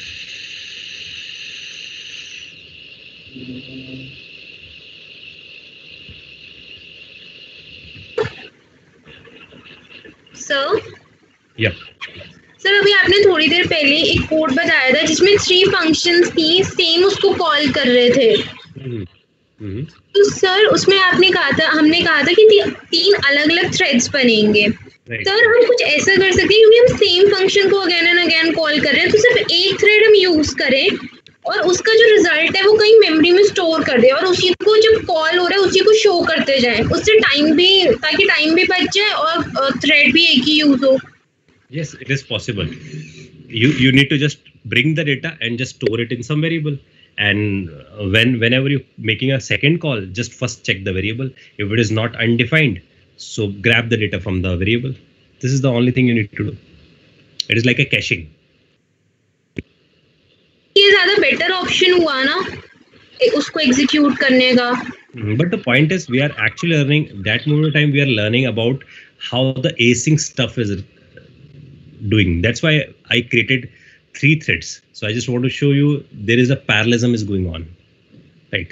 And I have a one file. That's why I copy paste the one file thing. And practically, you can have multiple files, right?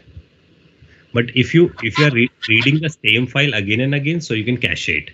But there is a there is a question mark on top of it if you use a caching mechanism now the problem is of the synchronization for example if somebody changed the file in a disk so you have older copy in your hand Make sense?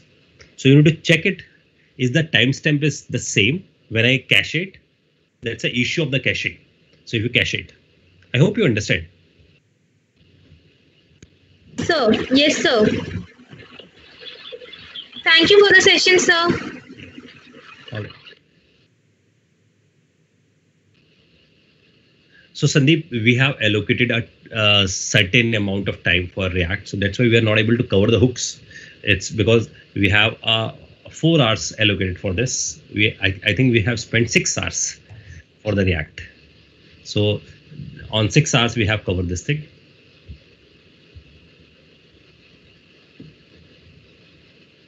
So now we are moving to, to the node.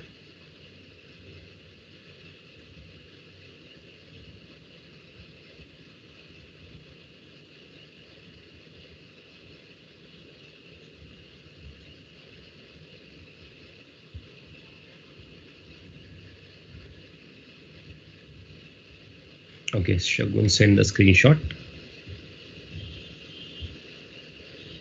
Shagun, I'm saying console.log and then bracket inside C is inside the console.log.